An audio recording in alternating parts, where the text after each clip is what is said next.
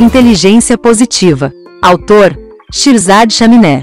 Por que só 20% das equipes e dos indivíduos alcançam seu verdadeiro potencial? E como você pode alcançar o seu? Tradução: Regiane Vinarski. Para minha filha Teesa. Para meu filho Kian. Vocês me ensinaram mais do que eu poderia ensinar a vocês. Em suas valorosas buscas pela fonte elusiva do grande rio, que vocês encontrem um lago tão puro, com águas tão calmas que consigam ver, verdadeiramente ver, estes seres magníficos, vocês, em seus caminhos sinuosos quando a vida empurra vocês para baixo, que vocês com grande satisfação, procurem em meio à terra colorida, pistas que desvendem o grande mistério que são vocês. E quando se perderem na noite tempestuosa e sem lua, que vocês possam confiar profundamente no guia sábio e eterno, o verdadeiro belo você. Introdução. Eu tinha 12 anos quando li um livro ilustrado sobre Sísifo, o rei punido depois de desafiar os deuses. Durante semanas, não consegui tirar a imagem da cabeça. O pobre ex-rei penosamente empurrava uma enorme pedra morro acima vez após outra, mas seus esforços sempre iam por água abaixo logo antes de chegar ao topo. Que tortura, pensei. Senti o peso, e fiquei deprimido só de pensar na história. Levei anos observando a mim mesmo, e aos outros até perceber que em muitos aspectos da nossa vida, não estamos muito melhor do que Sísifo. Muitos de nossos esforços para aumentar nosso sucesso ou felicidade vão por água abaixo do mesmo jeito que a enorme pedra que rolava de volta até o pé do morro. Pense bem. Por que a maior parte das resoluções de ano novo é deixada de lado ano após ano? Por que a maior parte das pessoas que fazem dieta sucumbe ao efeito sanfona? Por que aquela voz irritante e ansiosa em nossa cabeça vive, voltando para nos torturar, quando estamos tentando dormir? Por que nossa felicidade plena é tão fugaz depois de alcançarmos o que achávamos que traria felicidade duradoura? Por que novas habilidades de liderança adquiridas em workshops em pouco tempo dão lugar aos velhos hábitos? Porque retiros caros de fortalecimento coletivo só resultam em eficiência temporária na coesão e no desempenho da equipe. Estamos sim sendo torturados e punidos, assim como Sísifo. Mas eis a questão: a tortura é auto-infligida. A razão de tantas de nossas tentativas de aumentar o sucesso ou a felicidade resultarem em fiasco é que nós nos sabotamos. Mais precisamente, nossa própria mente nos sabota. Sua mente é sua melhor amiga mas também é sua pior inimiga. Sem que você perceba completamente, sabotadores, não detectados na sua mente, provocam a maior parte dos empecilhos na sua vida. As consequências são enormes. Só 20% dos indivíduos e equipes alcançam seu verdadeiro potencial. O resto de nós desperdiça muito tempo e muita energia vital bancando Sísifo. Com a inteligência positiva, você pode medir e melhorar significativamente a porcentagem de tempo que sua mente funciona em seu favor em vez de sabotar você. Isso vai mudar permanentemente o equilíbrio de poder dentro de sua mente, para que você consiga atingir mais de seu vasto e inexplorado potencial e ajudar outros a fazer o mesmo. A inteligência positiva consiste em ações e resultados. Suas ferramentas e técnicas são uma síntese das melhores práticas em neurociência, ciência organizacional, psicologia positiva e coaching coativo marca registrada. Afiei essas ferramentas durante muitos anos, primeiro por meio de minha própria experiência como CEO de duas empresas, e depois treinando centenas de outros COR, suas equipes de executivos seniores, às vezes, as famílias deles.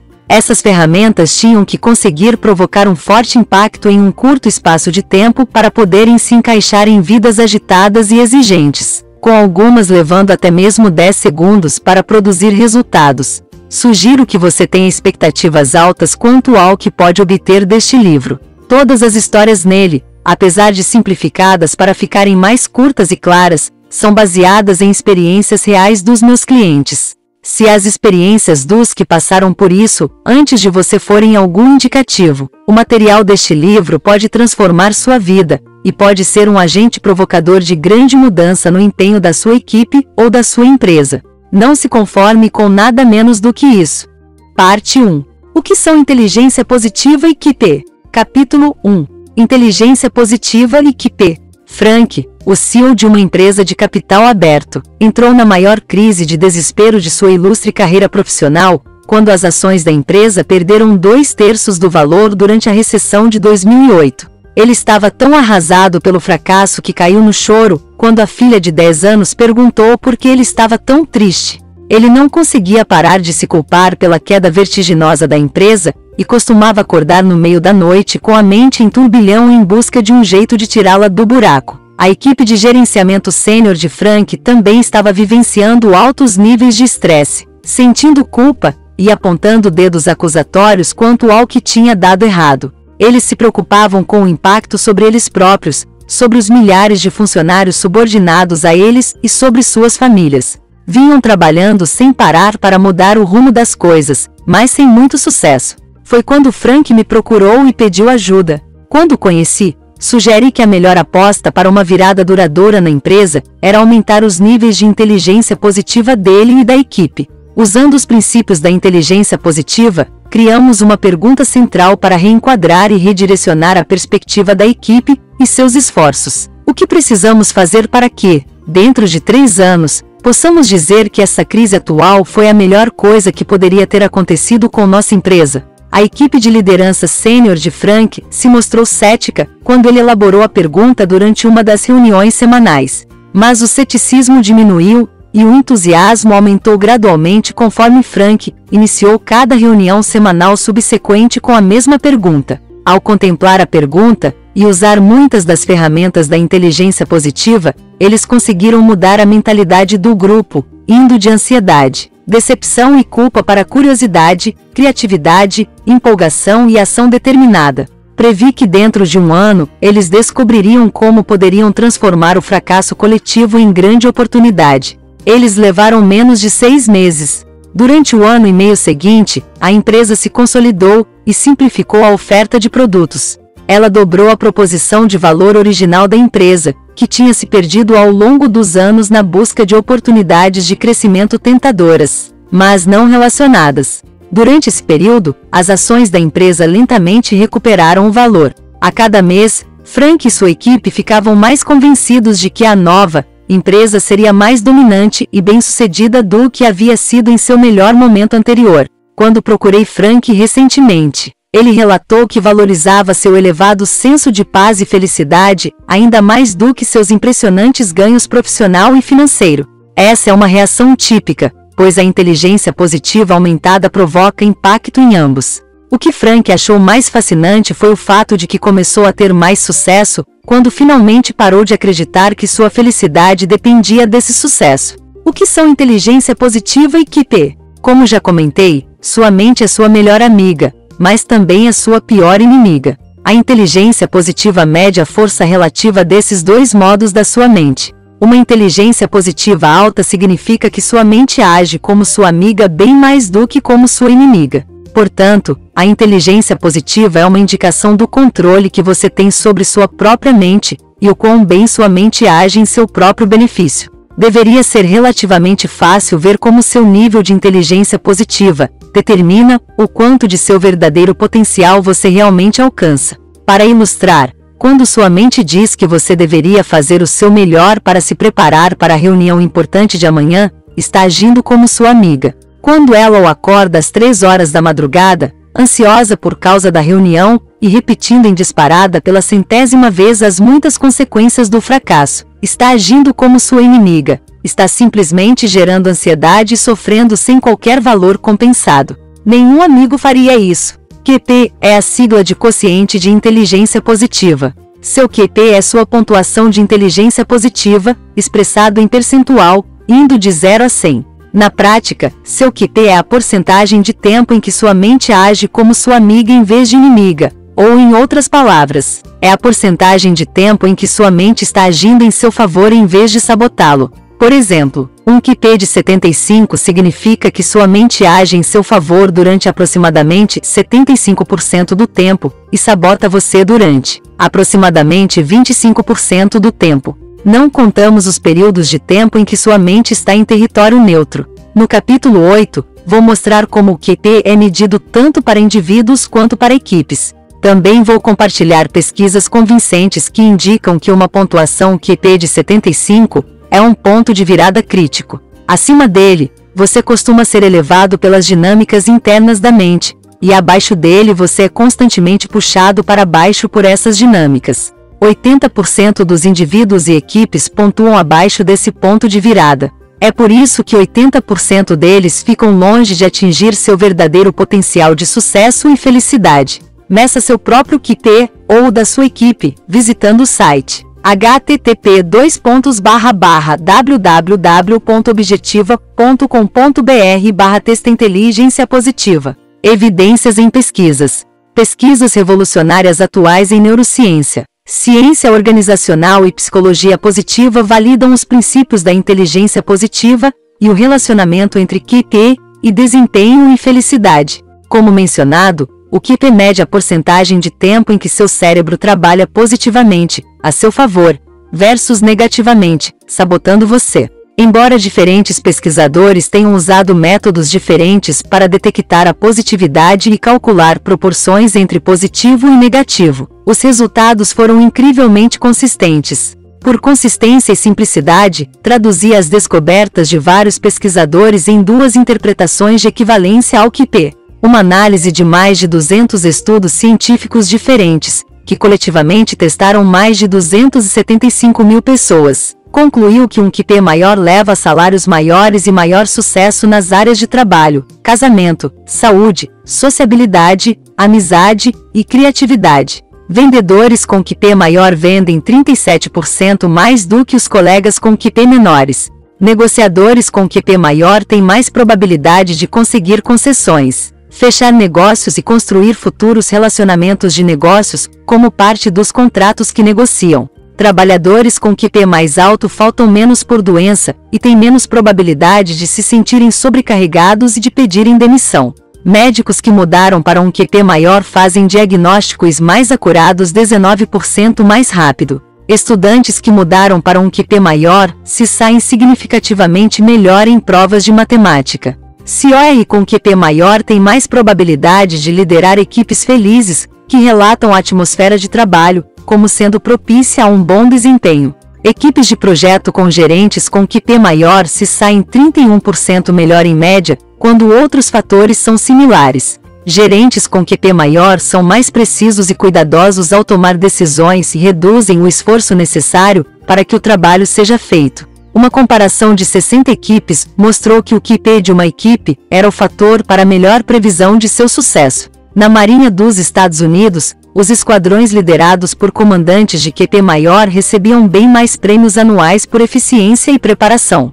Esquadrões liderados por comandantes com QP baixo tinham os piores desempenhos. Pesquisas inovadoras em psicologia e neurociência derrubam a suposição generalizada de que precisamos trabalhar duro para conseguirmos ter sucesso e então sermos felizes. Na realidade, aumentar seu QP resulta em mais felicidade e melhor desempenho, o que leva ao maior sucesso. O sucesso sem felicidade é possível com um baixo QP, mas o único caminho para o sucesso pleno com felicidade duradoura é por meio do QP alto. Além de causar impacto tanto no desempenho quanto na felicidade, o QP maior pode também causar impacto em sua saúde e longevidade. Pesquisas mostram que um QP mais alto resulta em um sistema imunológico mais eficiente, níveis menores de hormônios relacionados a estresse, menor pressão arterial, menos dor, menos resfriados, sono melhor e uma probabilidade menor de ter hipertensão, diabetes e derrames.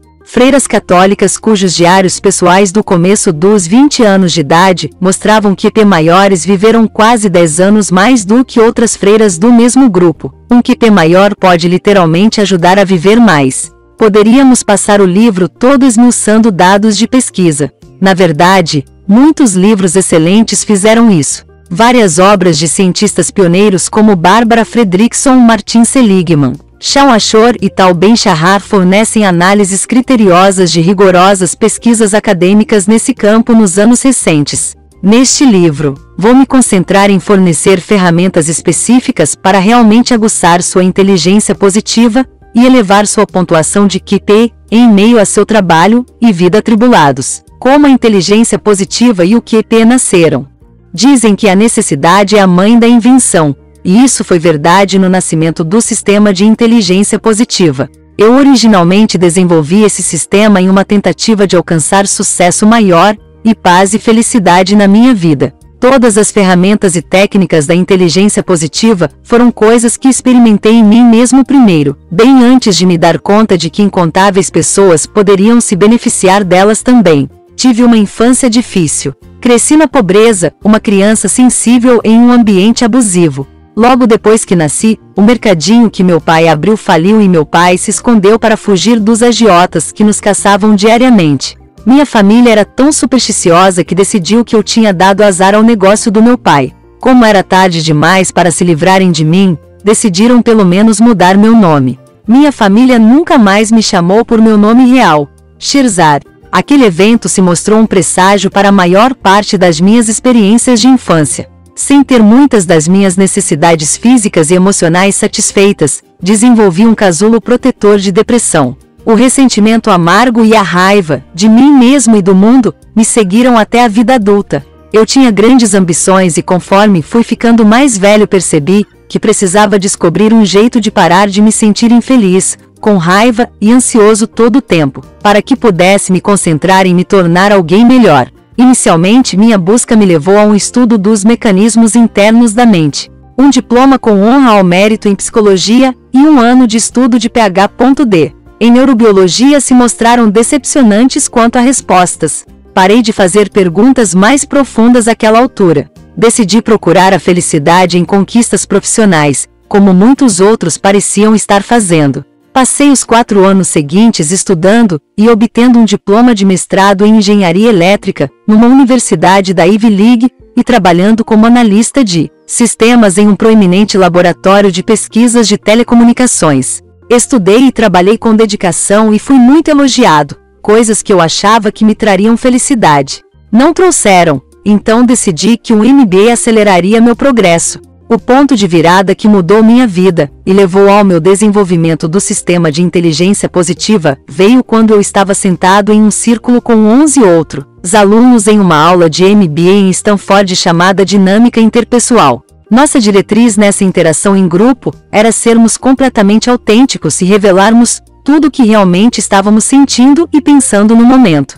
Em determinado ponto, um dos meus colegas se virou para mim com certa apreensão e disse que costumava se sentir criticado por mim e que isso o incomodava. Eu ouvi e agradeci educadamente pelo feedback de grande auxílio, mas no fundo da mente estava pensando: bem, é claro que você se sente criticado por mim, seu idiota. Você é o maior fracassado deste grupo. O que mais eu poderia pensar de você? O grupo estava prestes a desviar a atenção de mim, quando outra pessoa se virou para mim e disse uma coisa bem parecida. Mais uma vez, assenti e agradeci educadamente a ela, enquanto pensava que ela era obviamente a segunda maior fracassada do grupo. Em seguida, uma terceira e uma quarta pessoa falaram, repetindo a mesma coisa. Àquela altura, eu estava começando a me sentir desconfortável e um pouco zangado, mas ainda estava ignorando o feedback. Afinal, tudo isso vinha de um bando de fracassados, eu pensei.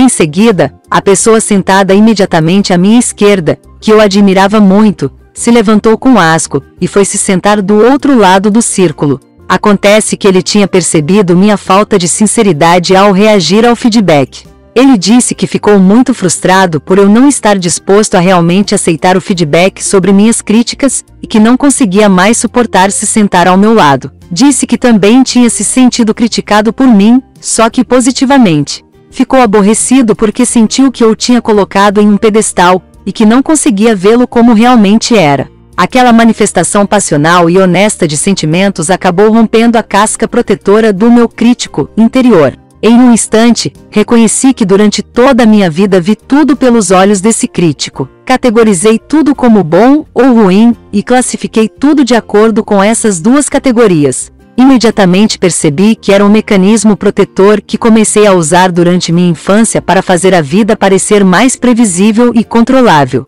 Naquele dia, sentado em um círculo com 11 colegas, descobri o enorme poder destrutivo desse crítico, sabotador, que se escondia na minha cabeça e que eu nunca soubera que existia. Aquela descoberta mudou tudo. Ela reavivou minha busca pelos mecanismos da mente que levam à felicidade, ou à infelicidade, ao sucesso ou ao fracasso. O que acabei tendo como foco foram duas dinâmicas relacionadas.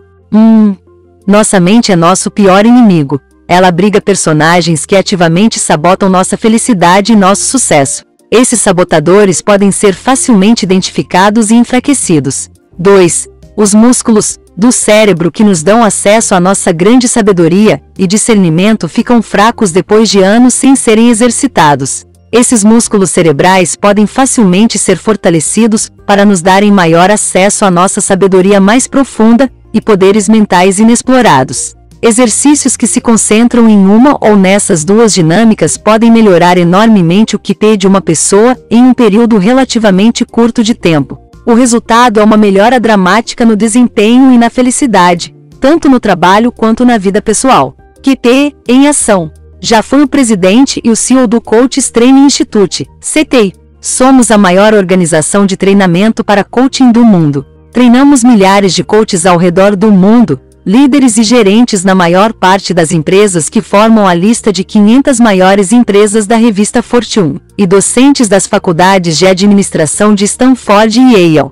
Fui coach de centenas de COR, muitas vezes de suas equipes executivas e às vezes de seus cônjuges e suas famílias. Muitos dos COR e executivos seniores de quem fui coach ao longo dos anos tinham personalidade do tipo A, desinteressados, ou nada à vontade com exploração psicológica profunda. Levando isso em consideração, as ferramentas e as técnicas de inteligência positiva foram elaboradas para criar resultados sem necessidade de primeiro haver o desenvolvimento de consciência psicológica profunda. Essas técnicas têm uma abordagem direta que literalmente constrói novos caminhos neurais em seu cérebro, caminhos que aumentam sua inteligência positiva. Um discernimento maior automaticamente acompanha a construção desses caminhos, o que equivale a construir novos músculos cerebrais. Este livro está organizado em seis partes. A parte I, da qual você está na metade, oferece uma visão geral da estrutura do QP, que continua no próximo capítulo. Há três estratégias diferentes para aumentar o QP, discutidas nas partes segunda, terceira e quarta.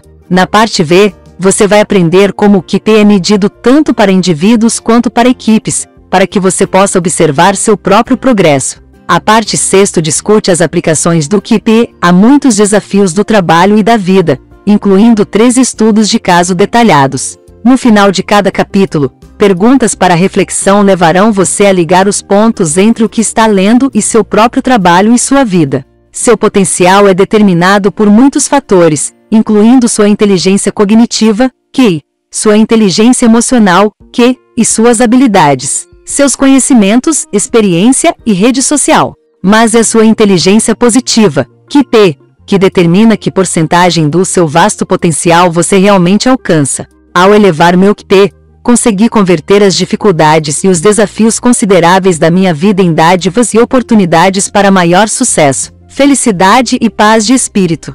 Escrevi este livro acreditando que você pode aprender a fazer exatamente o mesmo. Para refletir, se você pudesse melhorar significativamente uma coisa importante na vida pessoal e profissional, como resultado da leitura deste livro, o que seria? Mantenha esse objetivo em mente enquanto lê.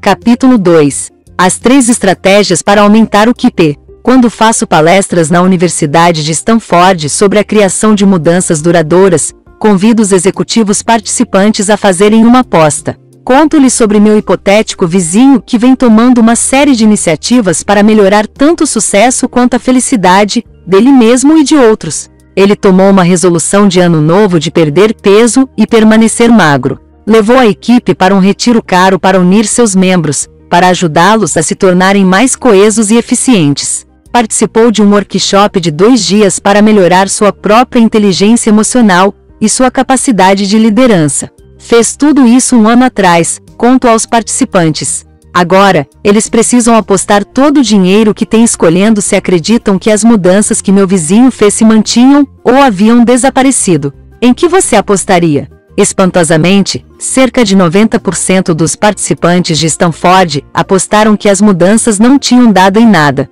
Digo para os outros que eles teriam perdido até as camisas em uma aposta otimista. As chances de melhoras significativas, tanto no desempenho quanto na felicidade, são mantidas na proporção de apenas 1 para 5. Pesquisas sobre felicidade confirmam que as pessoas costumam regredir para o que os cientistas sociais chamam de nível de felicidade de referência. Pouco tempo depois dos eventos ou das conquistas que aumentam significativamente a felicidade. Isso inclui vencedores de grandes somas na loteria. Muitos executivos reclamam sobre o mesmo fenômeno relacionado às tentativas de melhorar o desempenho individual ou da equipe por meio de coaching, feedback rigoroso de avaliação de desempenho, resolução de conflitos e intervenção, workshops de desenvolvimento de capacidade e retiros para coesão de equipe. As pessoas se mostram resistentes a mudanças, mesmo quando parecem achar que querem mudar. Pense em sua própria vida. O quão duradouros foram seus próprios aumentos de felicidade quando você alcançou as coisas que tinha certeza de que o fariam mais feliz.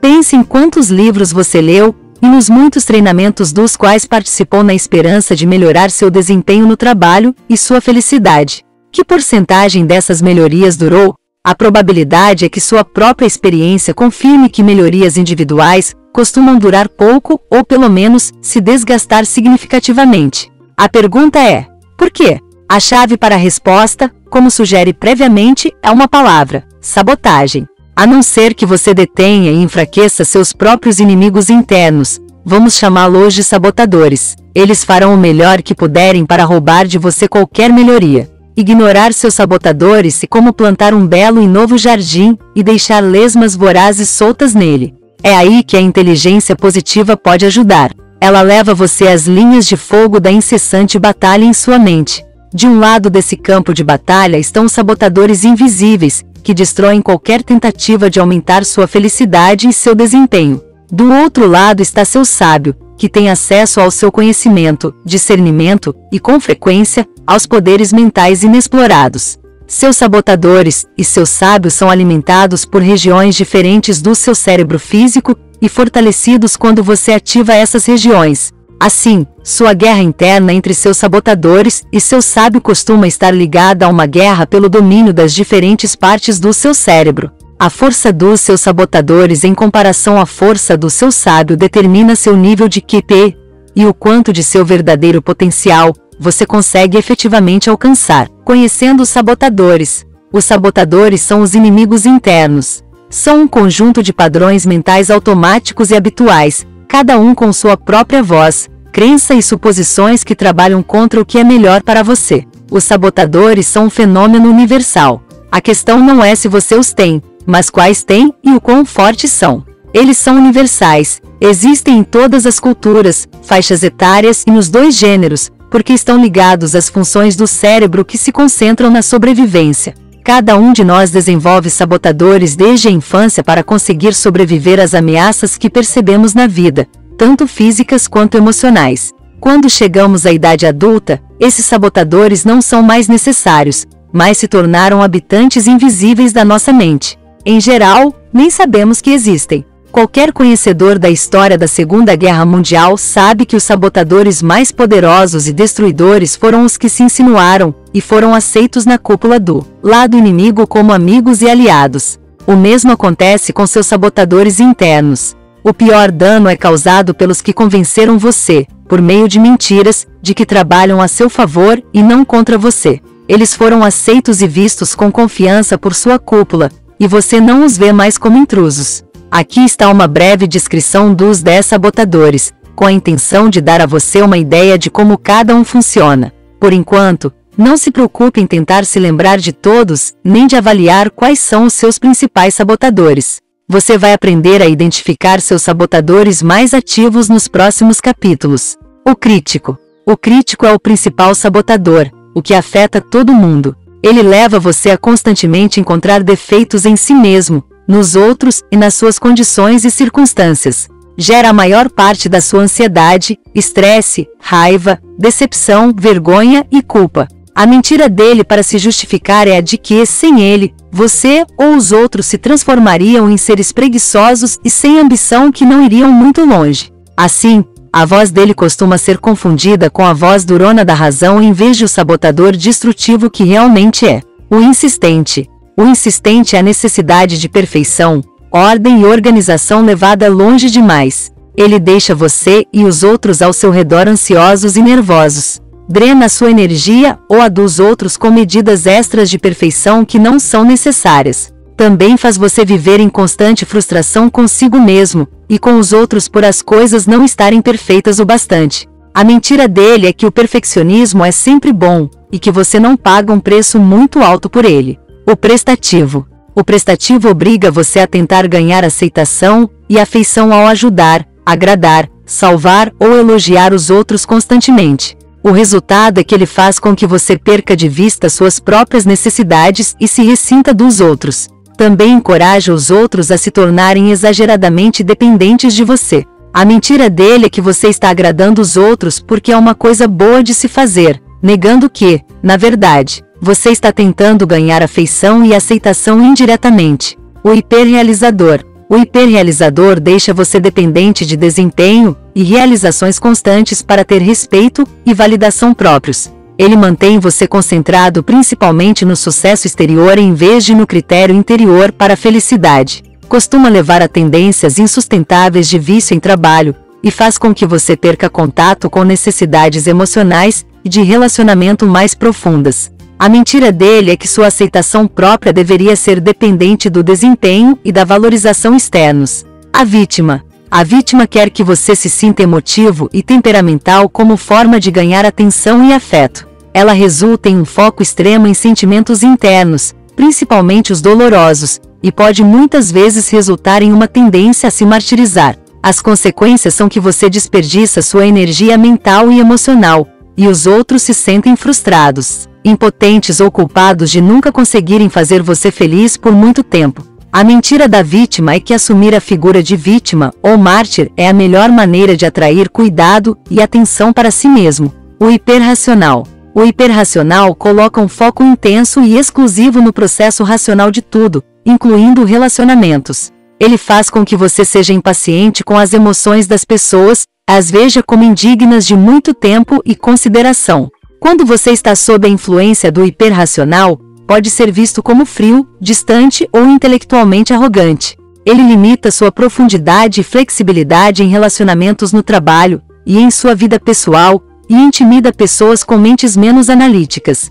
A mentira dele é que a mente racional é a forma mais importante e útil de inteligência que você possui. O hipervigilante. O hipervigilante faz você sentir ansiedade intensa e contínua em relação a todos os perigos que cercam você e em relação a tudo que poderia dar errado. Ele fica constantemente em estado de alerta e nunca pode descansar. Isso resulta em uma grande quantidade de estresse contínuo que exaure você e os outros. A mentira dele é que os perigos ao seu redor são maiores do que realmente são, e que a vigilância ininterrupta é a melhor maneira de lidar com eles. O inquieto. O inquieto está constantemente em busca de emoções maiores na próxima atividade, ou mantendo-se sempre ocupado. Ele não permite que você sinta muita paz e alegria com sua atividade atual. Dá a você uma contínua série de atividades que o faz perder o foco nas coisas e nos relacionamentos que realmente importam. As outras pessoas têm dificuldade em acompanhar a pessoa guiada pelo inquieto e costumam se sentir distantes dele ou dela. A mentira dele é que, ao se manter tão ocupado, você está vivendo a vida intensamente. Mas ele ignora o fato de que a busca por uma vida cheia faz você perder a vida que está acontecendo no momento. O controlador. O controlador funciona movido a uma necessidade ansiosa de estar no comando, controlar situações e dirigir as ações das pessoas de acordo com a vontade dele. Ele gera alta ansiedade e impaciência quando isso não é possível. Na visão do controlador, ou você está no controle, ou está fora de controle. Enquanto o controlador permite que você consiga resultados em curto prazo, ele acaba gerando ressentimento nos outros em prazos mais longos e impede que eles exercitem e desenvolvam sua capacidade plena. A mentira dele é que você precisa do controlador para extrair os melhores resultados das pessoas ao seu redor. O esquivo. O esquivo se concentra no positivo e no prazeroso de uma maneira extrema. Ele evita tarefas difíceis e desagradáveis e conflitos. Ele leva você aos hábitos de procrastinar e fugir de conflitos. Isso resulta em explosões nocivas, em conflitos sufocados que foram deixados de lado, e provoca atrasos na conclusão de coisas. A mentira dele é que você está sendo positivo, e não evitando seus problemas. O sábio. Se seus sabotadores representam seus inimigos interiores, seu sábio representa a parte mais profunda e inteligente de você. Ele é a parte que pode se elevar acima da confusão, e não permitir se deixar levar pelo drama, e pela tensão do momento, e nem ser vítima das mentiras dos sabotadores. A perspectiva dele de qualquer desafio que você encara é que esse desafio, ou já é uma dádiva e uma oportunidade, ou pode ser transformado nisso. Ele tem acesso a cinco grandes poderes da sua mente e os mobiliza para encarar qualquer desafio. Esses poderes residem em áreas da sua mente diferentes das que alimentam seus sabotadores. Os cinco grandes poderes do seu sábio são: 1. Um, explorar com grande curiosidade e mente aberta. 2. Ter empatia consigo mesmo e com outros e levar compaixão e compreensão a qualquer situação. 3. Inovar e criar novas perspectivas e soluções fora dos parâmetros convencionais. 4 navegar e escolher um caminho que melhor se encaixe em seus valores missão mais profundos e básicos. E 5.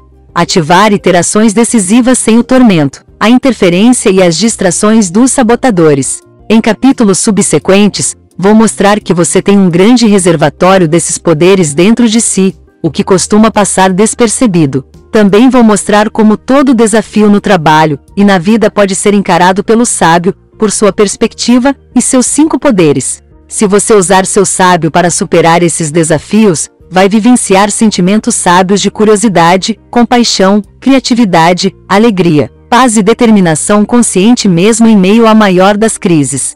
Você vai ver por si mesmo que seus sabotadores nunca são necessários para superar nenhum desafio, apesar das mentiras que eles contam para justificar suas próprias existências. Três estratégias para melhorar seu QT. Como mencionei antes, há uma conexão direta entre as diferentes regiões e funções do cérebro, dependendo se você está em seu modo sabotador ou sábio. Os sabotadores são alimentados primordialmente por regiões do seu cérebro que se concentravam inicialmente em sua sobrevivência física ou emocional. Vamos chamar essas regiões de cérebro sobrevivente. O sábio se baseia em regiões completamente diferentes do cérebro, que vamos chamar de cérebro QP. Esse enlace de cérebro sabotador sábio resulta em três estratégias distintas, porém relacionadas, para melhorar seu QP. 1. Um, enfraquecer seus sabotadores. 2. Fortalecer seu sábio. E 3. Fortalecer os músculos do seu cérebro QP. Estratégia 1. Enfraquecer seus sabotadores. Enfraquecer seus sabotadores envolve identificar que padrões de pensamento e emoção vêm de seus sabotadores e ver claramente que eles não são bons para você. Tipicamente, esses sabotadores se justificam e fingem que são seus amigos. Ou, pior ainda, fingem que são você. Nos capítulos 3 e 4, vamos tirar as máscaras e expor os truques deles para reduzir a credibilidade e o poder que exercem sobre você. Para enfraquecer seus sabotadores, tudo o que você precisa fazer é observar e rotular os pensamentos ou sentimentos deles quando aparecerem. Por exemplo, você pode dizer para si mesmo: Ah, o crítico voltou para dizer que vou fracassar, ou, aí está o controlador se sentindo ansioso de novo. Estratégia 2: Fortalecer seu sábio. Fortalecer seu sábio envolve mudar para a perspectiva do sábio e acessar os cinco poderes que ele usa para encarar todos os desafios. Você vai ver por si só que tem esse sábio dentro de você e que ele sempre oferece maneiras melhores de lidar com seus desafios do que as opções que os sabotadores oferecem. Nos capítulos 5 e 6, você vai aprender a perspectiva do sábio e divertidos jogos de poder, que vão ajudar a acessar e estimular os cinco poderes do sábio sempre que você precisar deles. Estratégia 3: Fortalecer os músculos do seu cérebro QP. Fortalecer os músculos do seu cérebro QP envolve entender a diferença entre seu cérebro QP e seu cérebro sobrevivente você vai ver como os músculos do seu cérebro QP permaneceram sem desenvolvimento ao longo dos anos, enquanto os músculos do seu cérebro sobrevivente andaram usando esteroides.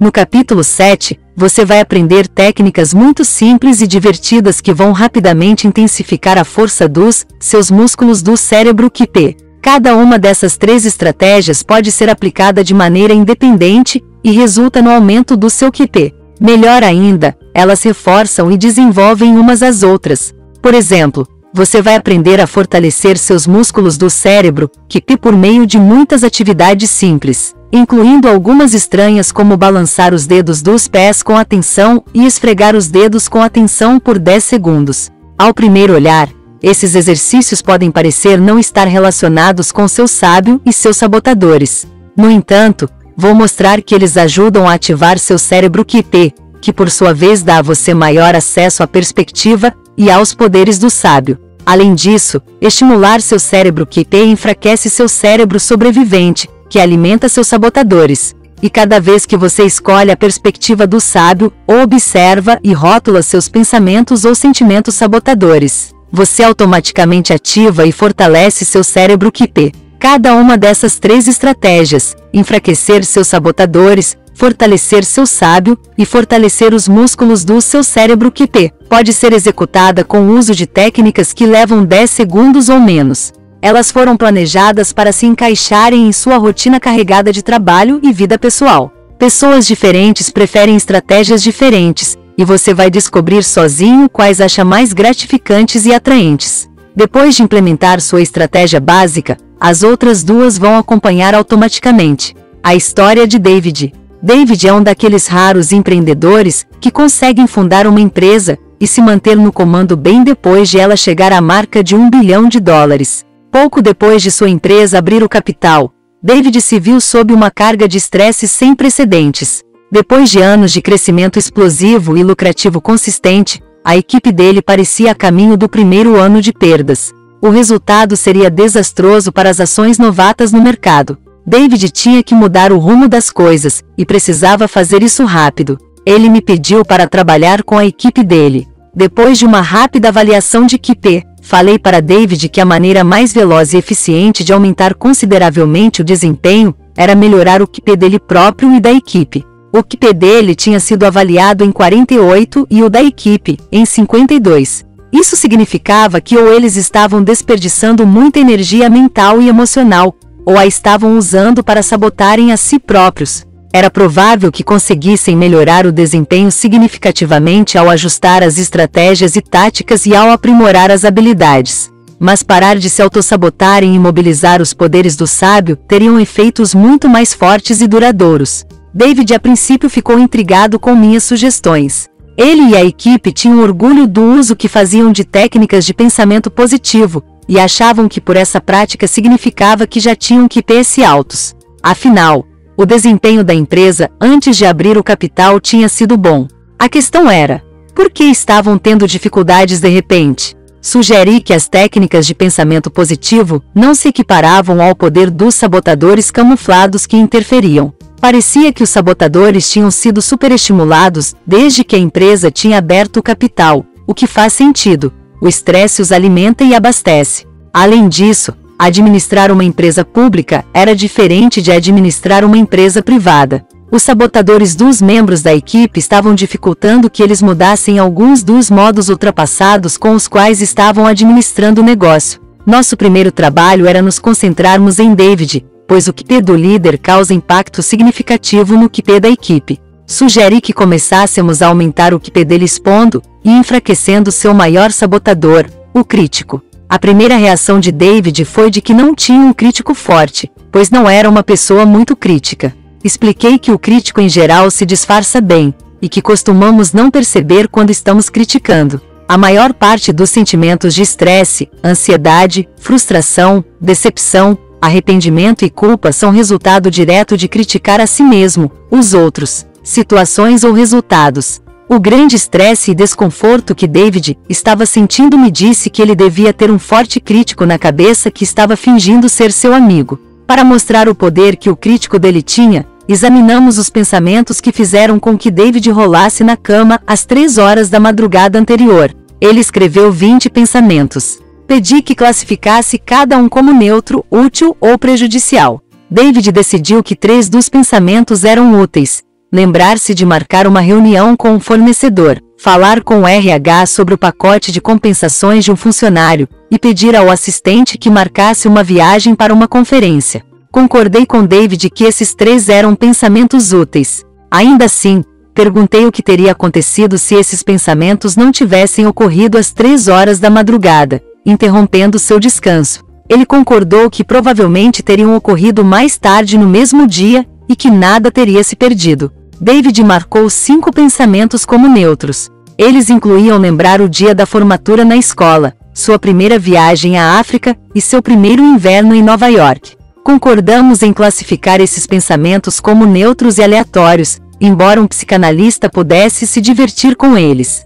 Em seguida, examinamos o que David tinha classificado com precisão, porém hesitantemente como pensamentos prejudiciais, tal como a possibilidade de a diretoria demiti-lo se o desempenho da empresa não melhorasse. Isso levou a uma cascata de pensamentos sobre o que aconteceria com sua reputação, se ele conseguiria permanecer na grande casa em que morava e com seus carros de luxo, etc. Outros pensamentos provocadores de ansiedade incluíam preocupação em potencialmente perder um cliente grande, que parecia infeliz, e o medo de uma apresentação futura para os investidores não ser boa. Alguns pensamentos eram sobre arrependimentos. Por que não tinha reagido mais rapidamente a uma mudança na dinâmica do mercado? Por que tinha contratado o sujeito errado para a área de desenvolvimento de negócios e desperdiçou nove meses até demiti-lo? David disse que estava hesitante em classificar com firmeza esses pensamentos como prejudiciais, porque eles o mantinham alerta e o pressionavam a trabalhar muito para virar o jogo.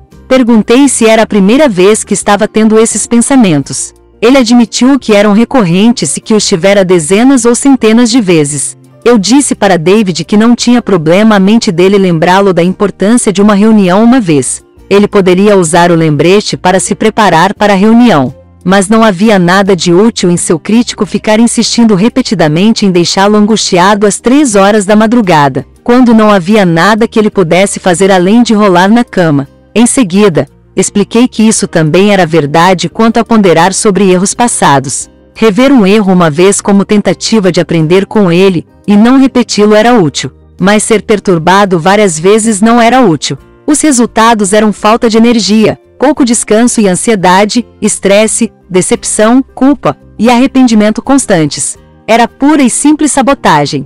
David começou a perceber lentamente que seu crítico não era o amigo que fingia ser. Considerando o papel dele como o maior sabotador, concordamos em nos concentrar inicialmente no crítico de David e não nos distrairmos com nenhum outro sabotador. Via de regra, essa estratégia de se concentrar em enfraquecer o crítico teria sido trabalho suficiente para a semana seguinte. Mas David queria progredir o mais rápido possível, então debatemos acrescentar a segunda estratégia, de fortalecer os músculos do cérebro QP. Criamos um plano simples de conectar essas duas estratégias e transformar o persistente crítico no próprio personal trainer do cérebro QP. Cada vez que o crítico aparecesse, David usaria como lembrete para ativar os músculos do cérebro QP e torná-los mais fortes. Isso levaria apenas 10 segundos, poderia ser feito enquanto ele estava em uma reunião, dirigindo ou se exercitando. A beleza desse plano era que o crítico agora trabalharia em sua própria destruição. Conforme o cérebro QP se fortalece, os sabotadores se enfraquecem. Por exemplo, se David tivesse o pensamento: Qual é o seu problema, David? Por que fez essa besteira? ele diria para si mesmo: Ah, lá vem o crítico de novo, e ativaria seu cérebro QT por 10 segundos. Também discutimos uma variedade de formas para ele ativar o cérebro QP. Seus métodos favoritos eram respirar um pouco mais fundo três vezes seguidas, mexer os dedos dos pés com atenção e reparar em cada um deles, e sentir cada uma das pontas dos dedos ao esfregá-las umas contra as outras, David não acreditava que exercícios tão simples pudessem ter os efeitos dramáticos que eu alegava que teriam. Expliquei que dizer, sem dor não há ganho, era uma das muitas mentiras autorrealizáveis do crítico dele, e que uma coisa não precisa ser difícil para ser eficiente. Além do impacto positivo significativo, os exercícios também eram divertidos, relaxantes e energizantes. Quando conversei com David uma semana depois, ele estava impressionado com o quanto a voz do crítico tinha predominado. Depois que David começou a prestar atenção ao crítico, descobriu suas digitais maldosas em todos os lugares. Era como se seu crítico estivesse emitindo opiniões constantes, sussurrando ou gritando nos ouvidos dele sem parar. David disse que foi simultaneamente encorajado e desencorajado pelo trabalho.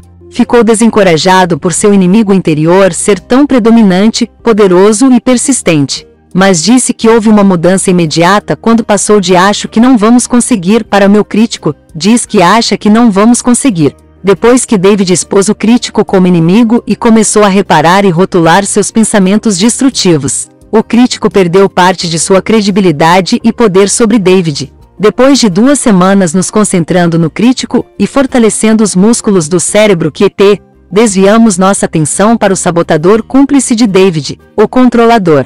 Os sabotadores ficam mais fortes e mais ativos com aumento de estresse. O aumento de estresse de David nos meses anteriores, alimentado em boa parte pelo crítico, tinha dado mais energia ao sabotador controlador. Quanto mais as coisas não aconteciam como ele queria, mais tirano o controlador ficava.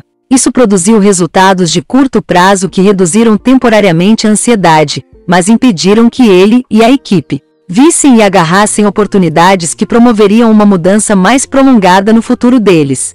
Em resposta ao controlador, a equipe de David fez o que ele desejava, mas dedicou menos de si ao trabalho, pois não tinha muito espaço para agir. Quando falei com David sobre isso, ele reconheceu que talvez seu controlador não permitisse que os membros de sua equipe caminhassem impulsionados por sua própria força e criatividade. Essa era uma das razões para ele sentir o peso total da empresa nos ombros.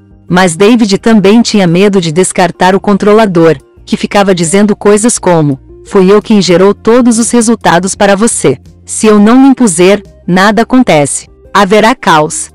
As pessoas precisam de mim para dizer a elas o que fazer. Ficarão perdidas sem isso. As pessoas podem não gostar de mim, mas sabem que produzo resultados. Era verdade que o crítico e o controlador alcançavam resultados para David e traziam a sensação de realização em curto prazo, então não podíamos apenas abandonar esses sabotadores sem substituí-los pelo sábio. A boa notícia foi que, quando David ativou seu cérebro QP, ele automaticamente fortaleceu a voz do sábio e teve acesso a seus poderes maiores. David não precisava do tormento do crítico e do controlador para ser um indivíduo voltado para a ação, decisivo e eficiente. David começou a ver o crítico e o controlador em toda parte. Ele disse que era como comprar um carro esporte vermelho novo, e de repente ver o mesmo carro em todos os lugares. A boa notícia era que ele estava achando divertido mudar a atenção para ativar o cérebro QT por 10 segundos, quando via a aparição do crítico ou do controlador. Enquanto ele fortalecia seu cérebro QT, a sabedoria do sábio sobrepujava os ruídos do sabotador cada vez com mais frequência. Ele sempre descobria que havia uma maneira melhor, mais fácil, mais criativa e mais alegre de lidar com os desafios.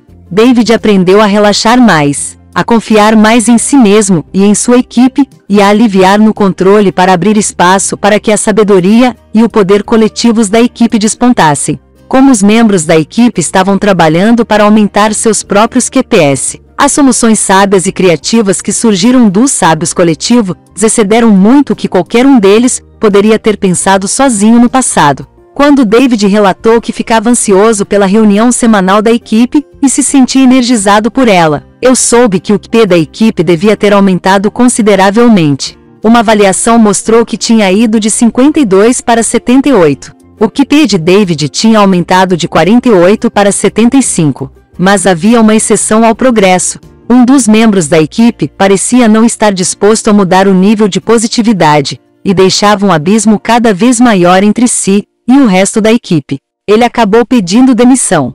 David e sua equipe levaram dois trimestres para interromper a queda em espiral e começar a virada. As ações da empresa ficaram baixas durante um tempo, mas acabaram se recuperando. Recentemente encontrei David no aeroporto JFK, cansado da viagem, mas feliz, pois estava voltando de um período de férias na Europa com a família. No longo voo de volta, ele começou a contar ao filho de 11 anos sobre o crítico. O filho ouviu com atenção e disse: Vou chamar o meu de fazedor de cocô, papai. Ele sempre faz uma confusão na minha cabeça. Nós dois concordamos que era uma boa descrição do crítico. Para refletir, o que acharia energizante, promissor ou estimulante na inteligência positiva? O que eu o deixa cético? Como você saberia se seu ceticismo fosse gerado por um sabotador tentando ficar no poder? Parte 2. Primeira estratégia: enfraqueça seus sabotadores. Na parte 2, você vai aprender a primeira das três estratégias para aumentar o QP, enfraquecer seus sabotadores. No capítulo 3, você vai aprender mais sobre o maior sabotador, o crítico, e os nove sabotadores cúmplices. vai executar uma autoavaliação para determinar qual dos nove sabotadores cúmplices é mais forte em você e vai aprender técnicas para enfraquecê-lo. No capítulo 4, você vai se concentrar em entender o crítico melhor para que possa expô-lo e enfraquecê-lo. Capítulo 3 Autoavaliação dos 10 sabotadores. Tem uma foto minha de quando tinha uns dois anos. Ela me revela de cabeça baixa e ombros caídos em desespero, com olhos tristes que se perguntavam o que eu estava fazendo neste mundo e quanto tempo mais conseguiria suportar. Sei agora que eu já tinha começado a me isolar dos meus medos e dores. Esse processo, que acabou resultando em dois sabotadores muito fortes, o crítico e o hiperracional, me permitiu sobreviver à infância. Esse é o papel inicial dos sabotadores, nos ajudarem a sobreviver. Como esses sabotadores formaram as lentes pelas quais eu via e interagia com o mundo, demorei quase 30 anos para descobrir que existiam. Depois que descobri, também percebi que, embora não precisasse mais deles para sobreviver depois de adulto, eles continuavam a exercer uma grande influência negativa na minha mente. 40 anos depois que essa foto foi tirada, ajudei a trazer um garotinho para este mundo que é precioso de todas as maneiras possíveis. Minha esposa e eu utilizamos tudo o que sabemos para sermos ótimos pais para Kian. Com saúde, uma família que o ama, com educação sólida e crescendo na bela cidade de São Francisco, ele é um garoto de sorte. Ainda assim, quando chegou aos 10 anos, reparei na formação familiar do crítico, e no caso dele, do sabotador esquivo. A formação do sabotador é um processo normal, e é o primeiro estágio em nosso desenvolvimento mental, quando formulamos estratégias de sobrevivência. Os melhores pais e a melhor criação não podem nos salvar desse drama mental. A formação dos sabotadores começa a fazer sentido depois que você percebe que o objetivo principal dos primeiros 15 a 20 anos de vida é sobreviver tempo bastante para passar seus genes adiante. Nesse sentido, não somos muito diferentes dos filhotes de tartaruga marinha se arrastando para a segurança do oceano assim que saem dos ovos. Mas para a criança humana, a sobrevivência tem um componente que vai além da sobrevivência física. Também precisamos sobreviver emocionalmente. O cérebro humano está preparado para prestar atenção ao meio ambiente nos nossos primeiros anos e se ajustar a ele, para que possamos suportar o peso emocional que encontramos e conseguir chegar à idade adulta e reprodutiva. Mesmo se você não teve uma infância difícil, a vida ainda assim apresentou muitos desafios para os quais os seus sabotadores foram inicialmente desenvolvidos. Você pode ter tido pais amorosos, mas ainda havia o medo de sua mãe ficar doente, e você não saber se ela voltaria do hospital. Ou talvez você tenha tido um irmão que seus pais pareciam preferir. E, é claro, havia crianças na escola que eram mais altas, mais inteligentes, mais rápidas ou mais engraçadas do que você e as que pareciam não gostar de você. Houve algum momento em que você fracassou publicamente, foi rejeitado ou traído. Houve um momento em que se sentiu apavorado com a ideia de morte, da fome, ou de um dos incontáveis perigos deste mundo caótico. Houve um momento em que prometeu a si mesmo, e que provavelmente não lembra conscientemente, que se protegeria melhor para que as coisas ruins não acontecessem a você com tanta frequência. Seus sabotadores eram os amigos que ajudavam a manter a promessa. A infância é um campo minado emocional, independente do quão bom eram seus pais. Os sabotadores são um fenômeno universal. O fato de você não estar ciente deles não significa que não existam. Se você acha que não os tem, está correndo um risco ainda maior. Seus sabotadores estão se escondendo bem. O problema dos sabotadores. Usamos muitos mecanismos temporários para sobreviver fisicamente à infância. Eles incluem usar um cordão umbilical, beber apenas leite até que nosso aparelho digestivo amadureça, e ter dentes de leite até haver espaço suficiente para dentes maiores e permanentes. Conforme amadurecemos fisicamente, substituímos esses mecanismos por outros que se encaixam melhor em nossa idade adulta. Idealmente, nossas estratégias mentais de sobrevivência funcionariam de maneira similar abandonaríamos as estratégias de sabotadores da infância em favor de outras mais maduras que fossem mais adequadas aos anos adultos, menos vulneráveis. O desafio é que, depois de formados, os sabotadores não somem voluntariamente. Eles ficam em nossa cabeça e se entranham. Imagine como seria se, quando adulto, você ainda estivesse ligado à sua mãe pelo cordão umbilical, ou ainda só pudesse tomar leite, ou ainda tivesse dentes de leite. Imagine se você colocasse um gesso em uma perna quebrada aos 5 anos para protegê-la de outros ferimentos e depois nunca mais tirasse. Por mais bizarro que possa parecer, não é muito distante do que realmente acontece a nós mental e emocionalmente com os sabotadores. Os sabotadores eram os gestos iniciais que nos protegiam, mas não removê-los na idade adulta limita nossa liberdade mental e emocional. O crítico, o principal sabotador. O crítico é o sabotador universal, o que todos temos. Uma predisposição para exagerar o negativo, e supor o pior é uma coisa boa para a sobrevivência. Se você estiver em uma floresta e vir as folhas de uma árvore próxima começarem a tremer, é melhor supor que está em perigo, embora essa suposição seja baseada em pouquíssimas informações. Pode ser um tigre vindo me comer vivo, e é melhor eu correr ou me esconder, você provavelmente diria para si mesmo. É verdade que em 99 a cada 100 vezes, a propensão exageradamente negativa do crítico teria se mostrado errada para um de nossos ancestrais distantes, mas na única vez em que estivesse certa, teria salvado a vida dele ou dela.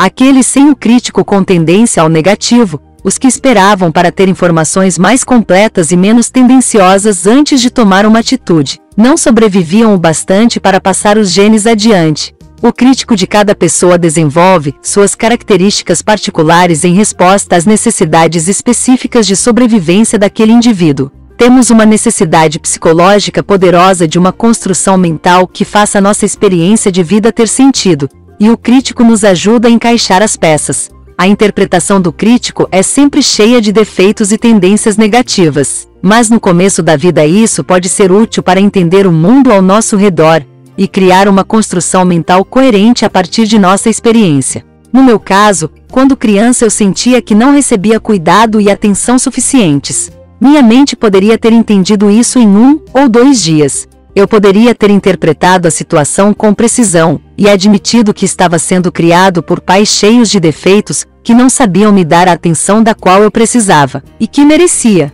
Mas isso teria forçado uma percepção aterrorizante, e teria tornado minha sobrevivência emocional mais difícil. Eu dependia dos meus pais para viver. Vê-los como pessoas cheias de defeitos teria sido tão apavorante quanto um mergulhador nas profundezas perceber que o mecanismo de fornecimento de ar dos tanques estava com defeito e prestes a parar de funcionar. Assim, o crítico veio ao meu resgate. A solução do crítico foi que eu tinha muitos defeitos e não merecia o tempo dos meus pais perfeitos. Por que eles deveriam demonstrar mais afeição a alguém tão não merecedor? Crítico. Discrição.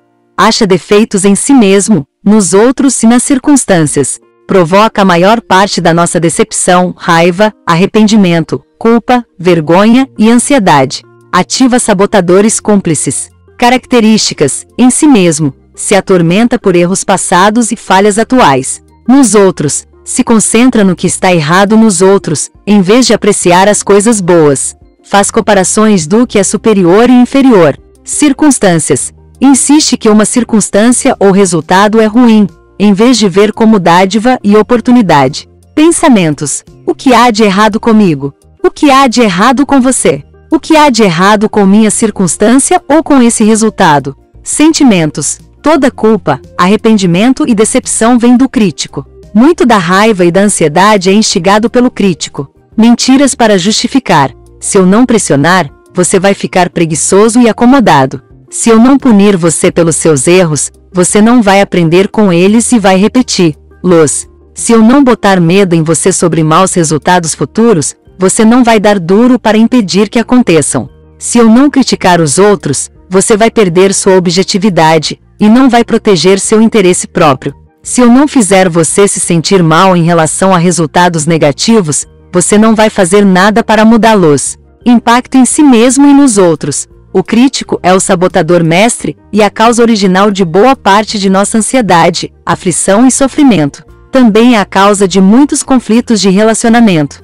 Força 0, 1, 2, 3, 4, 5, 6, 7, 8, 9, 10. Além de formar meu senso de baixo valor, meu crítico também teve que me ajudar a sobreviver me fazendo criticar os outros ao meu redor como repletos de defeitos. Teria sido apavorante ser um ser defeituoso em um mundo em que todas as pessoas eram ótimas. Assim, Esses dois mecanismos de sobrevivência do crítico, criticar a mim mesmo e aos outros, foram estabelecidos com firmeza em uma idade tenra. É claro que eu não estava ciente da maior parte disso. Os sabotadores raramente são formados de maneira consciente. Só após minha poderosa experiência na aula do MBA de Stanford muitos anos depois, percebi que esse mecanismo invisível estava profundamente entranhado no modo como eu interpretava e reagia a tudo na vida. A figura 2 resume as características do crítico.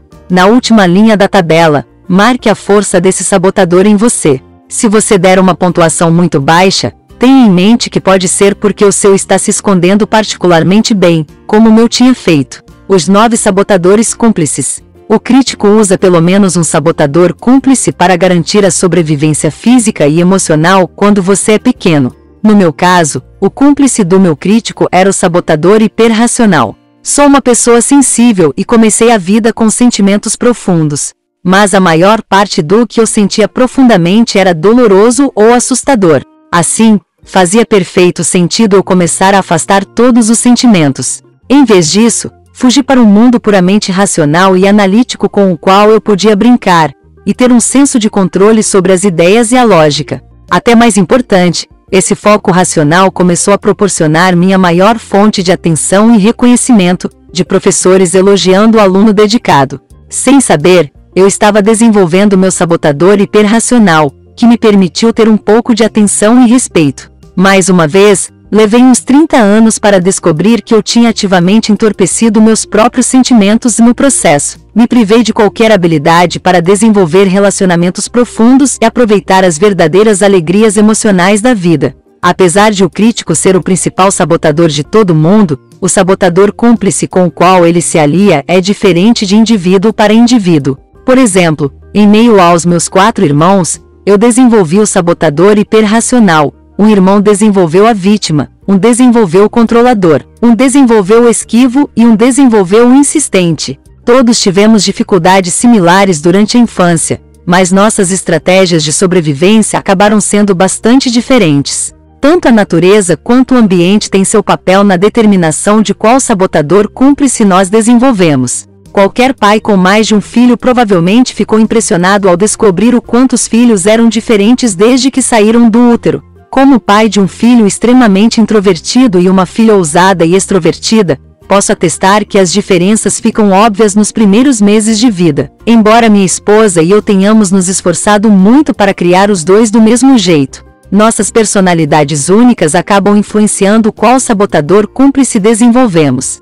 Duas dimensões de nossa personalidade em particular têm efeito: nossas motivações e nossos estilos pessoais de lidar com desafios. Agora vamos explorar essas duas dimensões para ver como afetam a determinação de qual sabotador se desenvolve. Motivação. Há três motivações primárias que servem de base para nossas necessidades de sobrevivência emocional. Cada pessoa tende para uma dessas três motivações. 3. Independência. Uma necessidade de limites em relação aos outros e de manter independência deles. 4. Aceitação uma necessidade de manter uma imagem positiva aos olhos dos outros, de ser aceito por eles e conquistar a afeição deles. 5. Segurança.